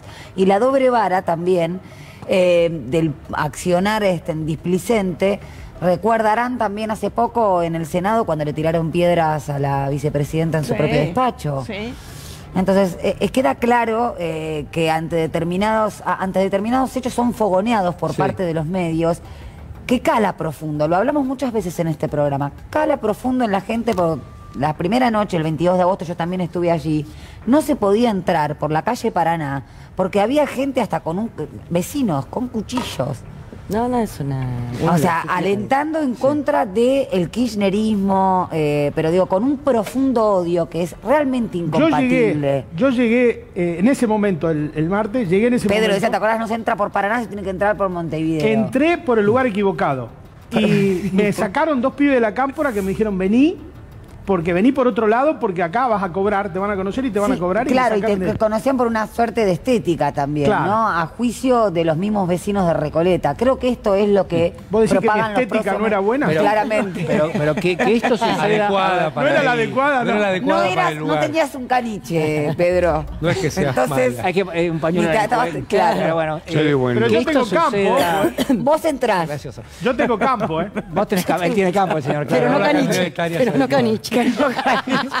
Con el título de propiedad, por Pero favor. que esto Pedro. suceda, a ver, que todo esto suceda eh, mientras en la Casa Rosada hay un gobierno nacional y popular, porque esto, esto es el frente de todo, finalmente. ¿Es un atenuante o es un ¿Qué- agravante? Qué pregunta extraordinaria, Julián. ¿Qué pregunta? Yo creo que eso es muy importante y es lo que vinimos tratando. O sea, a ver, acá lo que yo vi y lo que recorrí, tanto en Rosario como en Santa Fe, como cuando estuve enfrente de la casa de Cristina, había una gran bronca contra la justicia, una gran bronca contra Macri, pero también una gran desazón por la ingratitud del gobierno propio, que evidentemente, de alguna manera explícita, la ha dejado sola la presidenta. La ha dejado sola. Pero ¿de dónde inferís, Pedro, que la, de- que la deja sola? Porque el presidente tuiteó... Este, Tuiteó, eh, vos lo dijiste, Julián, tuiteó. Es el presidente de la República, tuiteó. Lo dijiste vos, no yo. Escuchame, tuiteó. Bueno, Es lo que dijo Úrsula hace un ratito, como es que dijo. Sí, palmoterapia. Palmoterapia. Escuchame. A ver. eh, No, a yo- último momento, cuando la gente desbordó, la gente paró un golpe de Estado primero, entre otras cosas, que estaba en marcha y lo hemos dicho muchas veces acá, que era un golpe de Estado en cuotas. Pero cuando se vio, le volvió a dar la centralidad a Cristina, hemos visto cómo con Twitter trataron de remediar lo que no se hizo a El los dos, día. al otro día. Subían Twitter, eh, a un Twitter, eh, se subieron al avión para que los vean ahí, en determinado momento cuando hubo un abandono explícito a la presidenta. A ver, Yo- lo dijo eh, el doctor. Ubeiras, acá quejándose de los dos años de, de Lozardo como, como Ministra de Justicia. Justicia. Digo, nadie protegió a la vicepresidenta. A ver, digo, le tiraron piedra en su despacho, la insultaron, la agraviaron. eh, y hay que rescatar una cosa de Cristina por encima. de- El respeto a la institucionalidad que tiene Cristina es increíble. Es increíble. Ocho veces a declarar en un día, ocho veces a declarar en el día. No es increíble, es así. Es así, es Ella es así. ¿Viste? Se presenta, va, viene, la insulta en la calle. Ese día había 20 tipos puteándola en la calle. ¿Hay derecho? A ver, la Policía Federal no puede hacer otra cosa. No debería asumir la defensa de la custodia de la presidenta. A ver, no puede ser que nosotros, nuestra gente, vaya a la asunción de masa y 10 tipos puteen a todos los militantes del frente de todo ahí, ante la mirada de todo el mundo, en la puerta de la Casa Rosada. Digo, algo no funciona, qué sé yo. Yo no soy un experto, pero algo no funciona. Sí, hay una frase de Brecht que me encanta y que es de aplicación a esto, ¿no? Muchas, muchos jueces son incorruptibles, ¿no? es. Dice, nadie puede inducirlos a que hagan justicia. Este, O sea que la norma es no hacer justicia, digo. Claro, hay unos que, yo creo que ahí está el tema. Hay una situación, digamos, de, de, digamos, de confrontación que ha generado uno de los poderes del Estado. Y ahí está la gravedad del asunto. O sea, estamos en esta circunstancia porque uno de los poderes del Estado ha tirado tanto de la piola que ahora concretamente va a tener que enfrentar consecuencias que no son las que naturalmente, digamos, los ciudadanos estamos dispuestos a, a- a bancar. O No, y que queda claro que defienden intereses clarísimos, ¿no? Tienen a un, a un único, tienen un prófugo. Hay un punto que me parece que es de ruptura y me parece que vale la pena ponerlo sobre la mesa. Y es que, digamos, las sociedades cuando uno de los poderes del Estado fallan tienen el derecho a la rebelión. O sea, lo que está pasando ahora, no digo no es una rebelión en los, técnicos, en los términos de lo que sería la rebelión del punto de vista penal, porque nadie está Sí. pensando en abolir las Sí. instituciones, mucho menos. Pero hay como una suerte de hartazgo que lenta y pausadamente se ha ido expresando durante todo este tiempo y que ahora con un pedido de pena de 12 años, se vuelvo a recordar que Viola lo condenaron a 12 años por este, matar y por suprimir identidades, la Junta de Comandantes, el juicio famoso de las juntas. Y que la única vez que el fiscal Estracera levantó la voz fue cuando en el final dijo, señores jueces, nunca más. Después lo demás fue una lectura de la cantidad de prueba en la cual no hubo el levantar la voz porque cuando vos te sobra prueba lo único que haces es explicarle por qué te voy a pedir perpetua. Entonces cuando este, todo este estereotipado, toda esta cuestión de generar calentura este, en la gente, eh, digamos, marca un grado de responsabilidad que espero, sinceramente, que hayan tomado nota los jueces que van a fallar este asunto. Y que tome nota Comodoro Pi.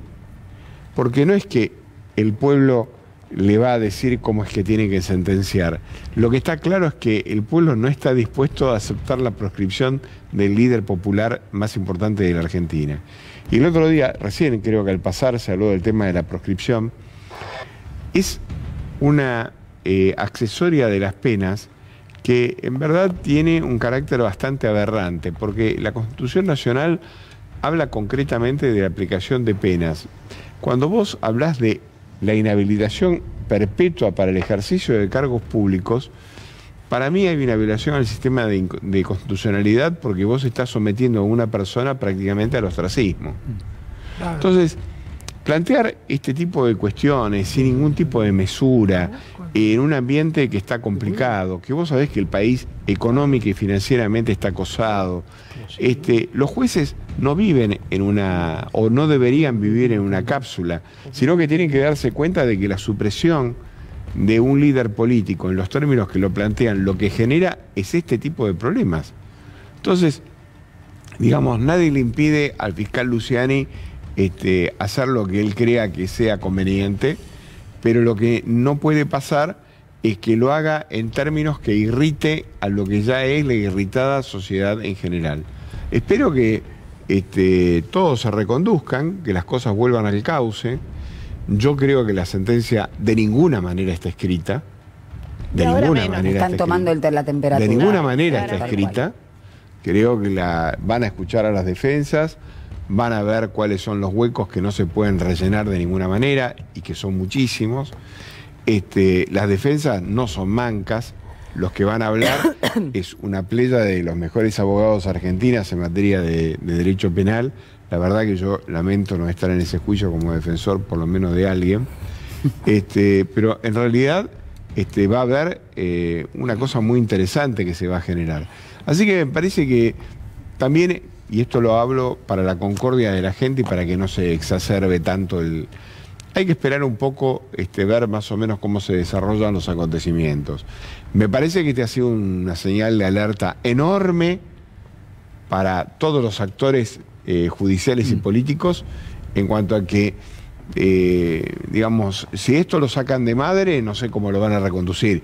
Van a tener que llamar a la Guardia de Infantería, pero de los Estados Unidos. Porque si el despelote es que realmente se arma... Ya están en comunicación. Es Ahora, yo es quiero complicado. decirte que ya están en comunicación. Les pido un minuto, nos, me- nos- nos metemos este, por última vez en este caso en el barrio de Recoleta. Este, pudimos levantar nuestro móvil, está Hernán Nucera. Hernán. Hola Julián, y le pido al doctor Ubeira, al amigo, al doctor Ubeira, que no dé ideas, porque ya bastante Sí, complicado la Ubeira, no en el día des de ideas. ayer, en la infantería de Estados Unidos. digo.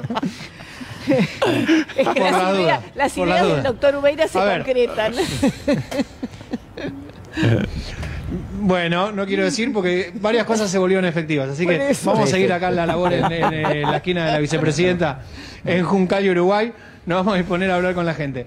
Disculpe, caballero, ¿cómo le va? ¿Qué tal? ¿Cómo le va? Miguel Ángel me llamo. Miguel Ángel, ¿por qué se encuentra aquí hoy? Hoy me encuentro acá porque palpito y lo siento que Cristina va a ser presidenta en el 2023. ¿Y esa es la razón por la cual usted considera que existe esta persecución?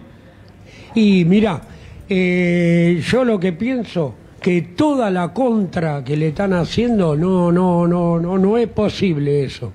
Si un partido tiene que perder, tiene que perder con todos los honores, así como ganaron, tienen que saber perder.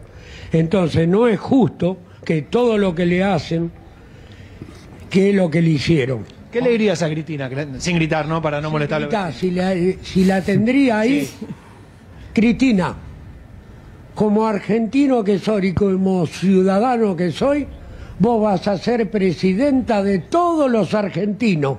De todos los argentinos, al que le guste o no le guste. Pero la realidad es esa, Cristina. Vos vas a ser presidenta, porque te lo voy a ver con mi ojo con la, la banda presidencial y con el batón en la mano, en Ah, Casa Rosada. grande. Bueno, ¿desde qué hora estás? Hace dos horas que estoy. ¿Cuánto? Dos horas. Bueno, ¿viste alguna escena de violencia por parte de la militancia? Lo vi en televisión. Pero no, a la militancia la viste violencia. No, no, no, tranqui. Ahora, desde el tiempo que estoy a- a- hasta esta hora, están todos tranqui, comiendo. Mira, ahí lo vamos a mostrar. Gracias, ¿eh? No, por favor. Ahí vamos a mostrar. Esta era lo que le preocupaba al gobierno de la ciudad de Buenos Aires. Por eso estaba disponiendo de, de la infantería. Si les parece, eh, y tenemos tiempo, voy a hablar con algunos de los chicos que están por acá, a ver si... Sí. ¿Qué piensan acerca de esto? Por supuesto. Disculpen, ¿te puedo molestar un segundito? ¿Hay, hay alguien que quiera hablar de lo que está acá? ¿Ninguno? Bueno, en este momento ninguno de los chicos que está acá eh, Están comiendo. quiere hablar, pero podemos seguir a- hablando con los vecinos que están acá. por- Estaban comiendo, estaban comiendo una, una porción de pizza. A ver, discúlpame.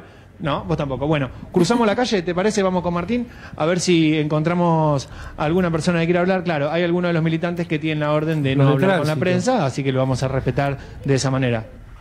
Lo- lo- sí, como, como, bueno, lo de tránsito, digamos lo de tránsito, digamos lo de tránsito. Disculpe.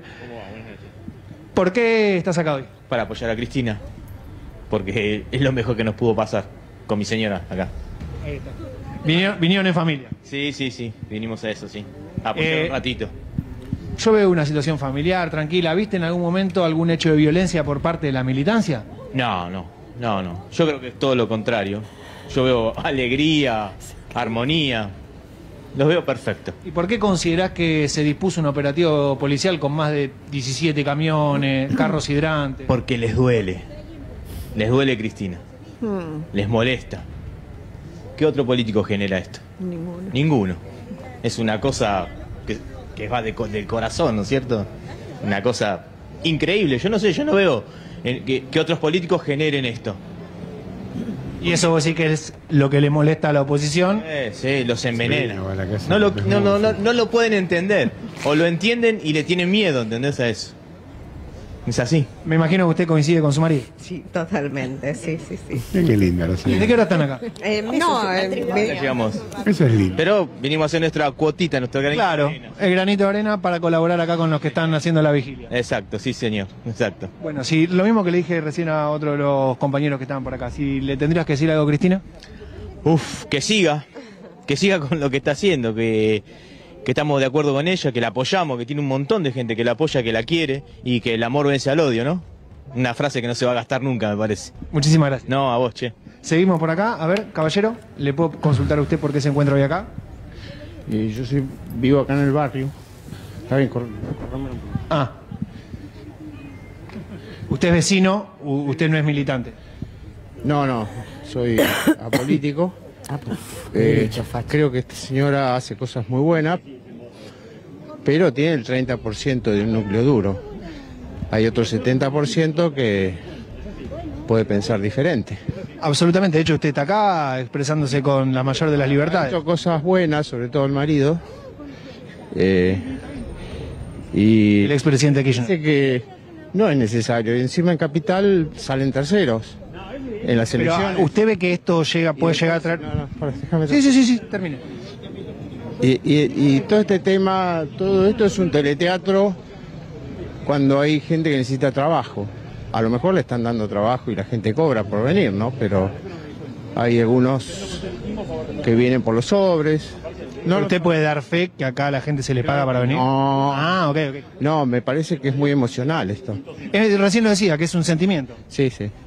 Sí. Pero, pero usted considera, la última que le hago, ¿usted considera que esto puede llegar a generarle molestias a los vecinos del barrio? Ahora yo no veo ni siquiera que haya ruido. No, son las, no sé, es tarde ahora. Once y media de la noche.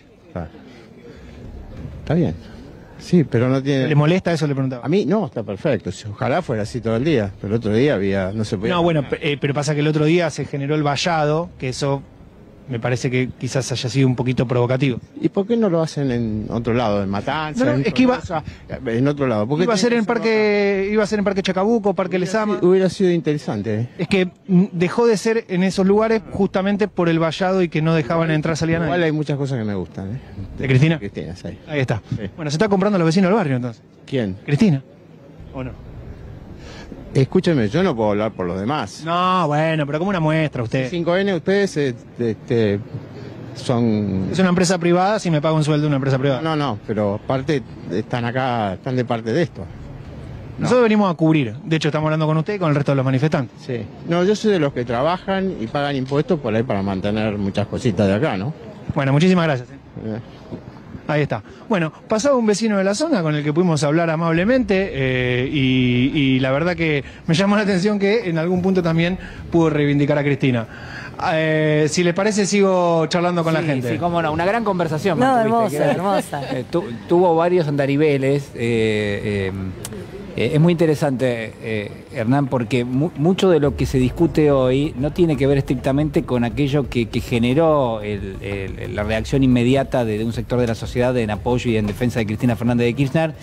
Y es en gran medida una especie de mérito, entre comillas, y lo digo en un sentido determinado, del gobierno de la ciudad de Buenos Aires, de- del sector de la oposición, que fueron poniendo distintos tipos de argumentos, desde el caso Nisman con la declaración de Alberto Fernández, en su momento una comparación con el juicio a las juntas militares. eh, después pasó por el lado del, del tema del vallado, vallado sí, vallado no. Ahora la movilización de la policía, ayer la represión, digo.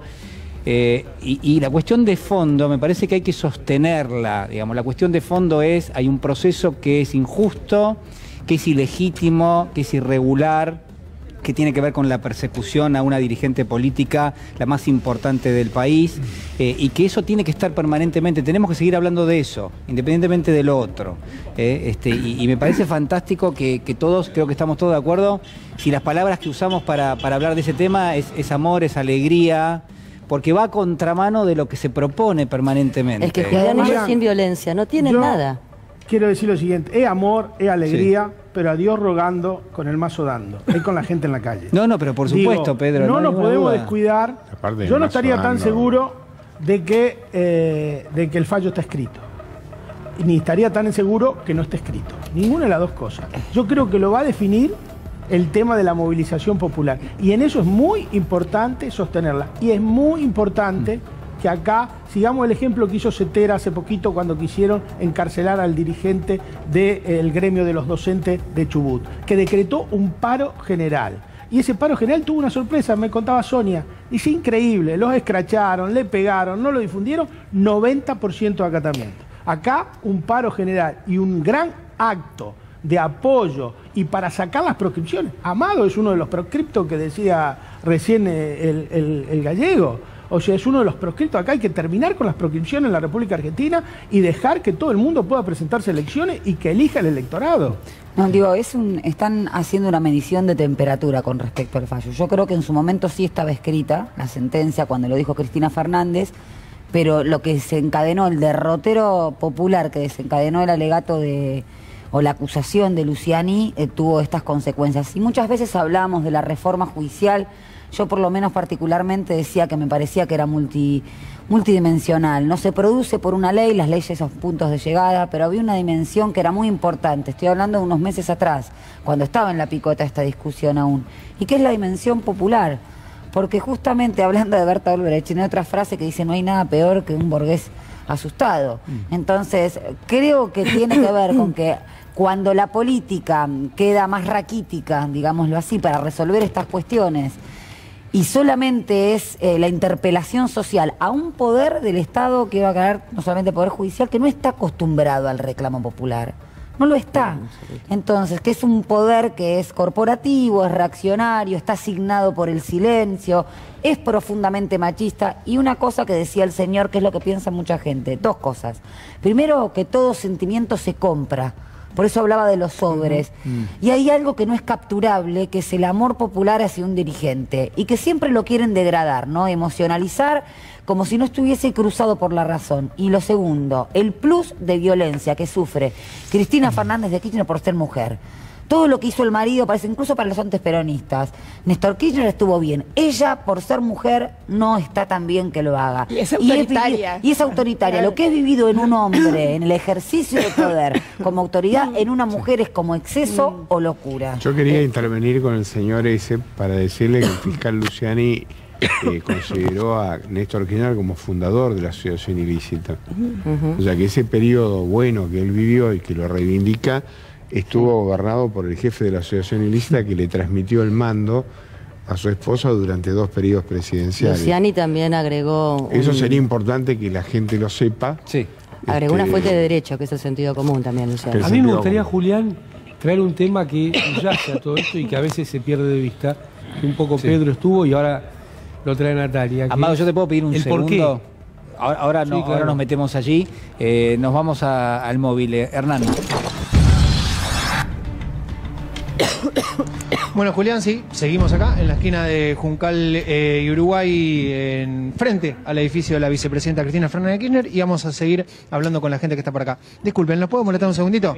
Recién me preguntabas por caníbales, ¿sos televidente del programa? Sí, miro todos los días C5N, absolutamente. ¿Tenés un, in- Estaba mirando también. ¿Tenés un integrante de caníbales favorito? El pelado, el que conduce, me encanta. No, no. Guarino, era- Guarino, apenas la verdad que le- no le hubiera puesto nunca un- una ficha. Íntegro que además hay que aprender mucho de él y escucharlo siempre. Ah, ah, ah, Julián, dale, subvenciona. Ese es un notero. Por lo de pelado. busca, el que va a hablar bien. Y bueno, a mí me dicen colorado y no me ofendo porque soy colorado. No, no, no, no, yo no me ofendo. Él dice que no se ofende, le dicen colorado y no se ofende. Ah, Mandale un saludo lo admiro muchísimo. Me Muchas gracias, muchas ¿Por qué te mandan un saludo grande? Muchas gracias. ¿Por qué se encuentran hoy acá? Acompañando, como siempre digo, a quien nunca nos abandonó, a la compañera. Yo vivo aquí en Retiro, pero soy de Santiago del Estero. Y Néstor y Cristina en mi provincia nunca nos abandonaron, acompañaron la reparación histórica. Así que bueno, hay que estar con ellos y sigue presente además. Esa fue una transformación de verdad eh, junto al gobernador Zamora, así que vamos a estar todos los días aquí con amor, con cánticos y con militancia, acompañándola a Cristina. ¿Viste lo que se generó hace un ratito con la policía y la infantería? Y por eso vine. Los estaba mirando y por eso salí corriendo y dije, a ver qué pasa, me voy para allá. Eh, había un tal agita en redes sociales de que si seguían llegando, bueno, la militancia quería volver a, a las calles, pero por suerte no se dio esa cosa porque creo que se podría haber generado otro hecho de violencia que no sería lindo. Y la verdad no tenía razón de ser porque como vemos... Un poquitos, estamos tranquilos, no estamos cantando, no estamos molestando a los vecinos, estamos en amor, en paz, en unión, en compañerismo, conversando, escuchando a los compañeros que tienen una historia mucho más grande que la mía, por supuesto, tengo 35 años, ellos son un poco más grandes, sin ofenderlos, por supuesto, pero... Ah, estás repartiendo para todos lados. Siempre se aprende, a mí me gusta mucho conversar con la gente que tiene mayores de 50 años porque se aprende, de ellos se aprende. Y uno como militante también eh, los escucha para seguir aprendiendo porque también tiene una historia. Entonces, bueno, nada, tratar siempre de dar un lindo mensaje porque tenemos del otro lado un periodismo completamente mercenario que hace totalmente ataca a la gente y dan, ellos buscan todo el tiempo un televidente, el no pensante y el que no piensa, el que no puede decodificar un mensaje y el que después de escuchar algo no va, reflexiona, ni piensa, ni analiza, ni se informa sobre cualquier integrante o dirigente político. Y hace rato también escuchaba a otro periodista que le pedía una autocrítica al militante y me parece que la autocrítica siempre se la tienen que hacer los medios de comunicación o los dirigentes políticos. Nosotros simplemente somos ciudadanos y vivimos como podemos y punto, en democracia y en libertad. Impecable, muchas gracias por la claridad, más que nada. Por favor, muchas gracias. Llevo un aplauso. Bien, ¿eh? Vino una señora, no sé si tenemos tiempo todavía, que quiere decir Tenemos, algo. tenemos tiempo, sí, sí, por supuesto. Ahí, Ay, Lala. ahí está, dígame señora. Buenas noches. Sí, yo soy de acá del barrio de toda la vida y quería ver qué estaba pasando y pertenezco al, al agro, al agro y yo quisiera decir como agricultora y que trabajo en el campo y que veo todos los trabajadores del campo, me gustaría que este gobierno pudiera entender el esfuerzo que hace la gente del campo y que, y que los aplaudieran. Yo quiero proponer el Premio Nobel de la Paz a la gente que está en el campo. ¿Le parece, si yo no recuerdo mal, en 2008, 2009, pacífica, la manifestación no era? ¿Se acuerdan? Yo, yo, yo, yo quiero darle un lugar, quiero contar breve, em, muy breve, Sí, por favor. mi, experiencia. Yo hace cinco años que vivo en el campo, veo a gente que trabaja, no tiene un día de vacaciones. Ellos invierten, por ejemplo, no tienen vacaciones. La- te estoy hablando de un sector Trabajadores, los peones rurales. trabaja, la, lo- lo- la gente que ha ido creciendo en el campo. con- Pero no tener vacaciones tampoco es algo a reivindicar, me parece. Bueno, yo te quiero decir que esa gente se levanta todos los días a las 5 de la mañana y termina a las 12 de la noche y está en sus máquinas, en sus tractores y, y está eh, apostando, invirtiendo. Hay seca, nadie los ayuda si pierden su cosecha y hay gente que, que le mete y le mete y le mete y hoy una persona que siembra soja, maíz, recibe nada más que el 30%. Si, si vos fueras boliviano, la soja, el, el que siembra eh, En Bolivia. en Bolivia, gana, ponele, la soja está a 500 dólares, gana los 500 dólares. Un argentino gana 170 dólares. Yo no me puedo poner fino con esos números, lo tenemos a Pedro Peretti del otro lado, que el, Y hay muchísima información y es así. Así que hoy un tipo está haciendo malabares en el campo, está recibiendo, en vez de 500 dólares, el argentino en general está haciendo malabares para llegar a fin de mes. ¿no? hace bueno, pero el, de 500, que ahora vale ponerle 600, recibe 170 dólares. Eso, y el resto se lo da al país. O sea, yo creo que... ¿Está liquidado? Eh, que está liquidado. No sé, porque me dice que eh, trabaja en el campo, si lo- los sus cultivos, digamos. Si está liquidado, ¿qué quiere decir? Si lo ha vendido. Sí, por supuesto, uno va vendiendo a medida que tiene que pagar cosas que son millones, impuestos, esto, lo otro, va vendiendo. Y, se- y muchos tienen críticas porque no lo venden, la gente se refugia un poquito en su cereal, porque tiene que salir para adelante, comprar insumos. Pero yo lo que te digo es, la cuenta es así, un boliviano cobra 500 dólares y un argentino 170, por esa misma cantidad de quintales de, de- de- de semillas. Entonces, acá hay una equivocación contra el agro, porque la gente es como un milagro que la gente siga sembrando, porque fíjate, el 30% se lleva de lo que él pone. Le hago una pregunta que tiene que ver con lo que está ocurriendo aquí. ¿Usted es vecina de la zona, vive por acá? Yo soy vecina de la zona. ¿Le molesta lo que está ocurriendo en el día de hoy? Eh, la- Nada, no, no veo nada raro. Yo la verdad no he estado en la manifestación, no sé, he visto videos de agresividad, no sé bien cómo es la cosa. Yo vengo acá a ver qué está pasando y a Puede circular tranquilamente, no hay ningún inconveniente, ¿no? Y en este momento sí, ayer no, ayer no. Bueno, pero ayer se dio un, algo particular, el tema del vallado, me parece que quizás ha despertado a los manifestantes, ¿no? Sí, sí, a- ahora está todo bien y yo vengo a decir esto porque me toca como agricultora pensar en tanta gente, en tanta gente que está haciendo un esfuerzo por el país enorme y encima son criticados. Encima son criticados. ¿Le puedo preguntar a que usted tiene algún sector político de referencia a la hora de ir a las urnas? Yo, yo eh, eh, soy artista, soy artista plástica, eh, soy defendora, defensora de la naturaleza. Pero alguien tiene que votar. Sí, por supuesto, no, no, no. En este momento no sé, no sé a quién votaría. ¿Le gustaría un Horacio, una Patricia, Mauricio? No, no, no, no estoy tanto en el tema, te digo la verdad. Lo único que, que digo es, eh, dejen de, de ponerle la, la soga al cuello a la gente, porque esta gente en algún momento debería reaccionar. Debería. Coincidimos, hay un montón de gente que está pasándola mal. Bueno, muchísimas gracias, ¿eh? Bueno, muchas gracias. Ahí está. Bueno, eh, qué bien que yo digo la verdad. A mí me parece que es... de alguna manera siento envidia, porque cuando a mí me toca trabajar en alguna marcha que tiene que ver con la oposición, no soy tratado de la misma manera que pudimos tratar nosotros a la señora. Así que, bueno, Sí. me, me parece fantástico que venga la gente, se acerque a la esquina de la vicepresidenta y pueda expresarse en libertad. Así es. Eh, eh. bueno, acá tengo más Sí. personas, si les parece, como, como ustedes digan. Eh, bueno, sí, tenemos un poquitito de tiempo. A ver si hagamos eh, el último testimonio, por favor, Hernán. Lo hago cortito. ¿Cómo no? Dale, por acá. Eh, vamos a hablar con ustedes eh, lo que el señor recién llamaba los mayores. Sí, los mayores. Para él sí. bueno, para vos también. Eh, ¿Por qué están hoy acá? Estamos porque queremos participar de esto, que es tranquilo, en paz, eh, obviamente en respaldo a lo que es nuestra líder en cuanto a, a lo que nosotros pensamos, ¿no? Eh, políticamente. Nada más que por eso. Eh, ¿En el caso de usted? Mira, eh, simplemente porque creo que esto es parte de la historia y va a ser parte de la historia que no tuve la posibilidad de estar las noches anteriores, a pesar de que no está la multitud esta noche, pero estar parado en este lugar que va a ser histórico, me siento eh, muy pleno de todo.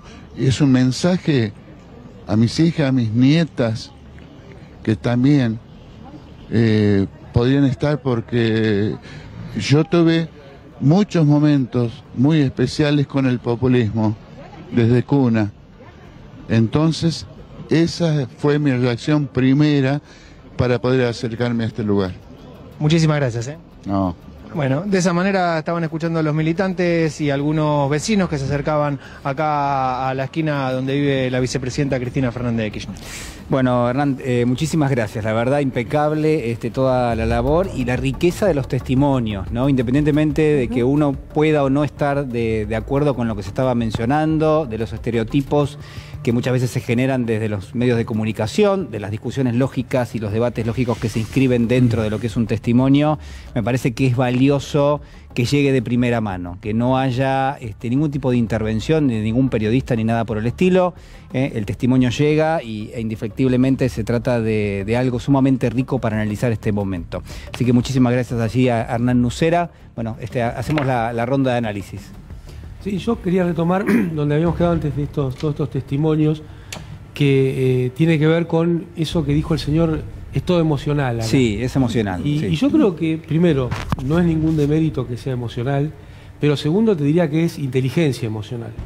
Porque lo que subyace al acompañamiento que tiene Cristina Fernández de Kirchner, a todo lo que se viene expresando estos días, Sí. tiene que ver con 3 millones y medio de jubiladas y jubilados que no hubieran existido en la Argentina, con 5 millones de puestos de trabajo que no hubieran existido en la Argentina, con el salario más alto de Sudamérica que no hubiera existido eh, en la Argentina, con la cuestión del desendeudamiento que permitió eh, tener soberanía en la toma de decisiones, con la posibilidad de que eh, eh, creciera mucho la inversión en educación en la Argentina, que nuestras niñas y niños pudieran tener en forma gratuita una computadora para incorporarse al mundo digital, Sí. dejar de, de ser analfabetos digitales en el siglo XXI, a que surgiera la asignación universal por hijo, igualando a todas las mujeres de la Argentina, a la asignación por embarazo, que fue un acompañamiento muy importante del Estado de las Mujeres, al matrimonio igualitario que puso en pie de igualdad a mujeres y, varones en esa eh, situación,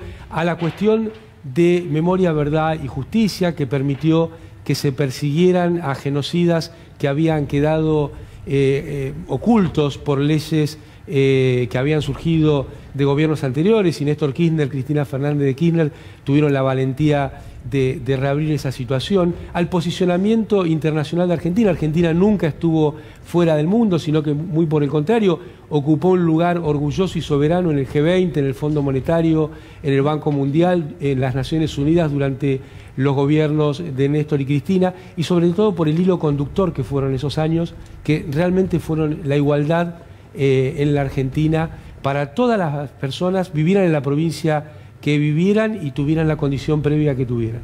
Importantísimo lo que, este, lo que ha señalado Amado, suscribo, suscribo totalmente. Eh, a ver, les propongo algo, hagamos una, una pequeña pausa y cuando regresamos, Pedro Peretti. ¿eh? Eh, pausa. Muy bien, seguimos en, en Caníbal. El programa sigue, digamos, en el corte sigue, el, hay que decir, sigue el programa. Pero no, te- te- no es muy caníbal en el corte. es como que cambia de rubro, va, va- va por otros lugares. Bien, eh, Hasta ahora el señor... también incorporamos el sector gastronómico. Muy bien, señor Pedro Peretti, a ver. No, bueno, yo quiero hacer referencia, quiero, de algo hay que convivir, ¿no? Dijo Amado. Por supuesto, ¿no? Y aparte en este caso particular. eh, ¿no? El libro que hemos escrito con el doctor Bielsa, que es un repaso, y perdón por la autorreferencia, pero creo que es premonitorio de todo lo que estamos viviendo en este momento. Así que se los recomiendo amablemente. Yo lo leí, Pedro, pero el momento que lo presentó fue el año 2018 y la verdad es muy bueno, efectivamente. Y de anticipación. Y de anticipación. Aprovecho para mandar un saludo al Rafa Bielsa. Sí. Muy grande. Eh, me parece además que estamos ante una situación muy, muy compleja que puede tener derivaciones al tema económico, que creo que lo vamos a ver en los próximos días. Yo creo que esto no va a ser neutro o solamente enfocado al tema político.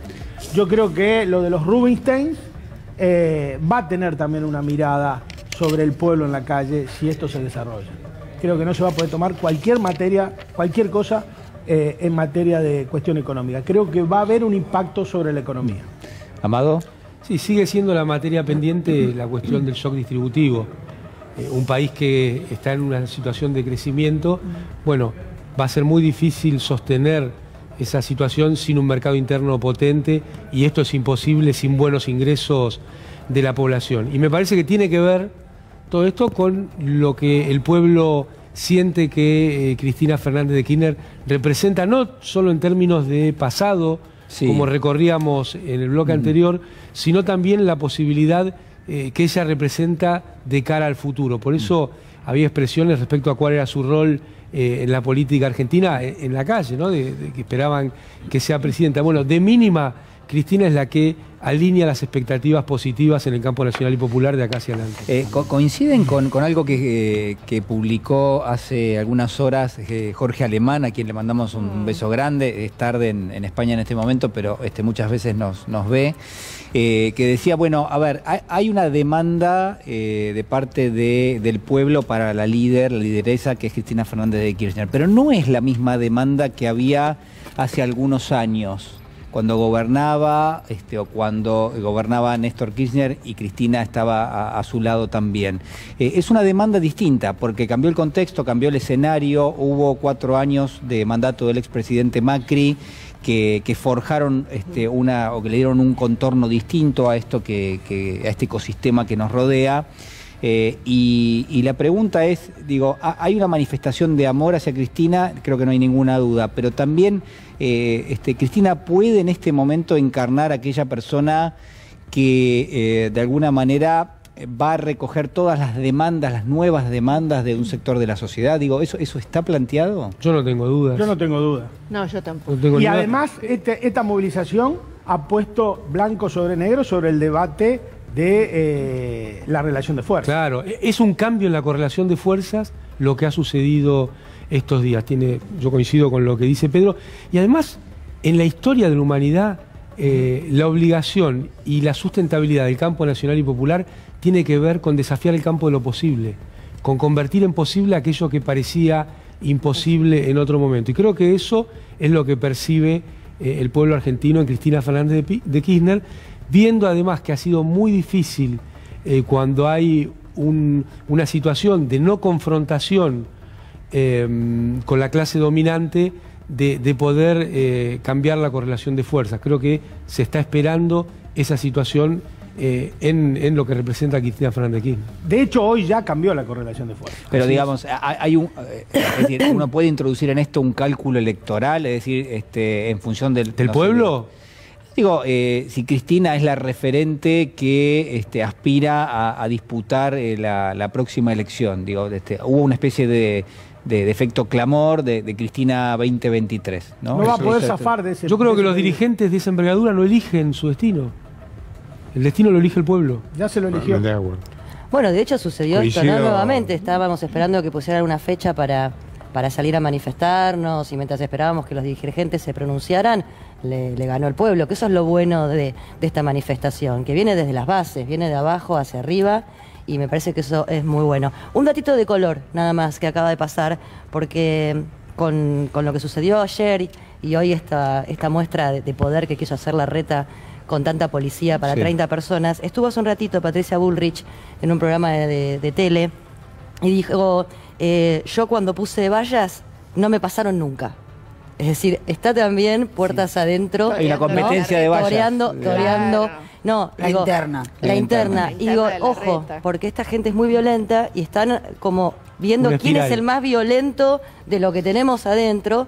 Y, y sabemos permanentemente por cómo se comunican y, y por sus acciones eh, que, que hay gente que está esperando eh, reprimir, que está esperando que haya violencia, porque es lo que conocen desde la historia, digo, no lo digo yo, eh, la manera que es a los porrazos. Pero bueno, ya también compiten a ver quién vaya más, quién pasa más. A mí, Úrsula, cuando grave. se habla de Patricia Bullrich, me parece que además de, los, de las vallas que no se caen, Que hay que no acordarse del pasan, 13%.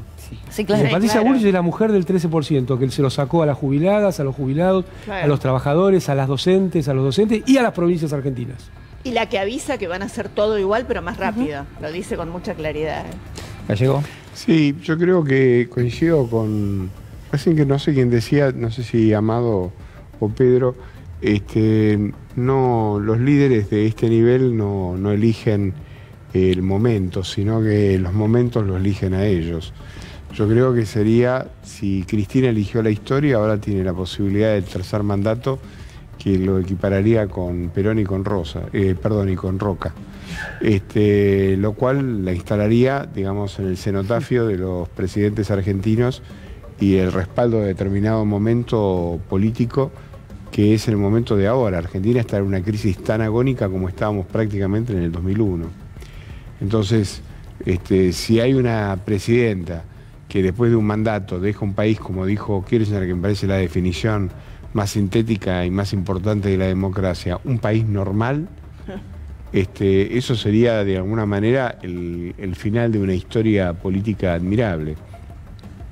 O sea, digamos, no va de ninguna manera a ser el otro candidato en el 2023 que Cristina por el propio peso específico de los acontecimientos. Natalia. Quería concluir un poco atado a lo que decía Amado. Sí. y en lo inconsciente y colectivo cómo está, que lo que produce valor es el capital. En este caso, en lo que decía la señora que hablaba de, de la que se refugiaba en su propia cosecha o en su propio cereal. Y esto es importante porque habló justamente... pintora, eh, guarda. eh. No sé en qué momento largaba el arado y agarraba el pincel, pero... Claro, porque justamente habló de la naturalización de la inexistencia de derechos laborales básicos, desde las vacaciones a la extensión de la jornada de trabajo, y eso era un valor, pero en ningún momento lo hacía de manera propia. Y justamente en el campo es donde hay mayor índice de clandestinización de relaciones de trabajo. Entonces es otra cosa que hay que apuntar, porque el shock distributivo y la legitimación social de ese shock distributivo Mm. tiene que ver con que ese pueblo trabajador se advierte y Sí. tenga conciencia real de ser trabajador y que el capital también o que representa, en este caso al capital, eh, sobre todo al complejo agroexportador que hacía alusión, no, no, Pedro, no me mates, No, no, eh, bueno.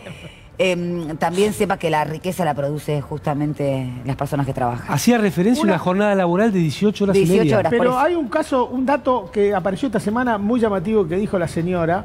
Dijo, yo no sé quién va a sembrar. Esta semana se conocieron un dato que es relevante, hasta qué punto, dos datos, hasta qué punto el negocio agropecuario hoy es muy bueno. Primero, la compra por parte de la familia Bartolomé de 60.000 hectáreas de campo por una cifra de casi 200 millones de dólares, una empresa sentada exclusivamente sobre el tema de la semilla de soja. Mirá si será negocio.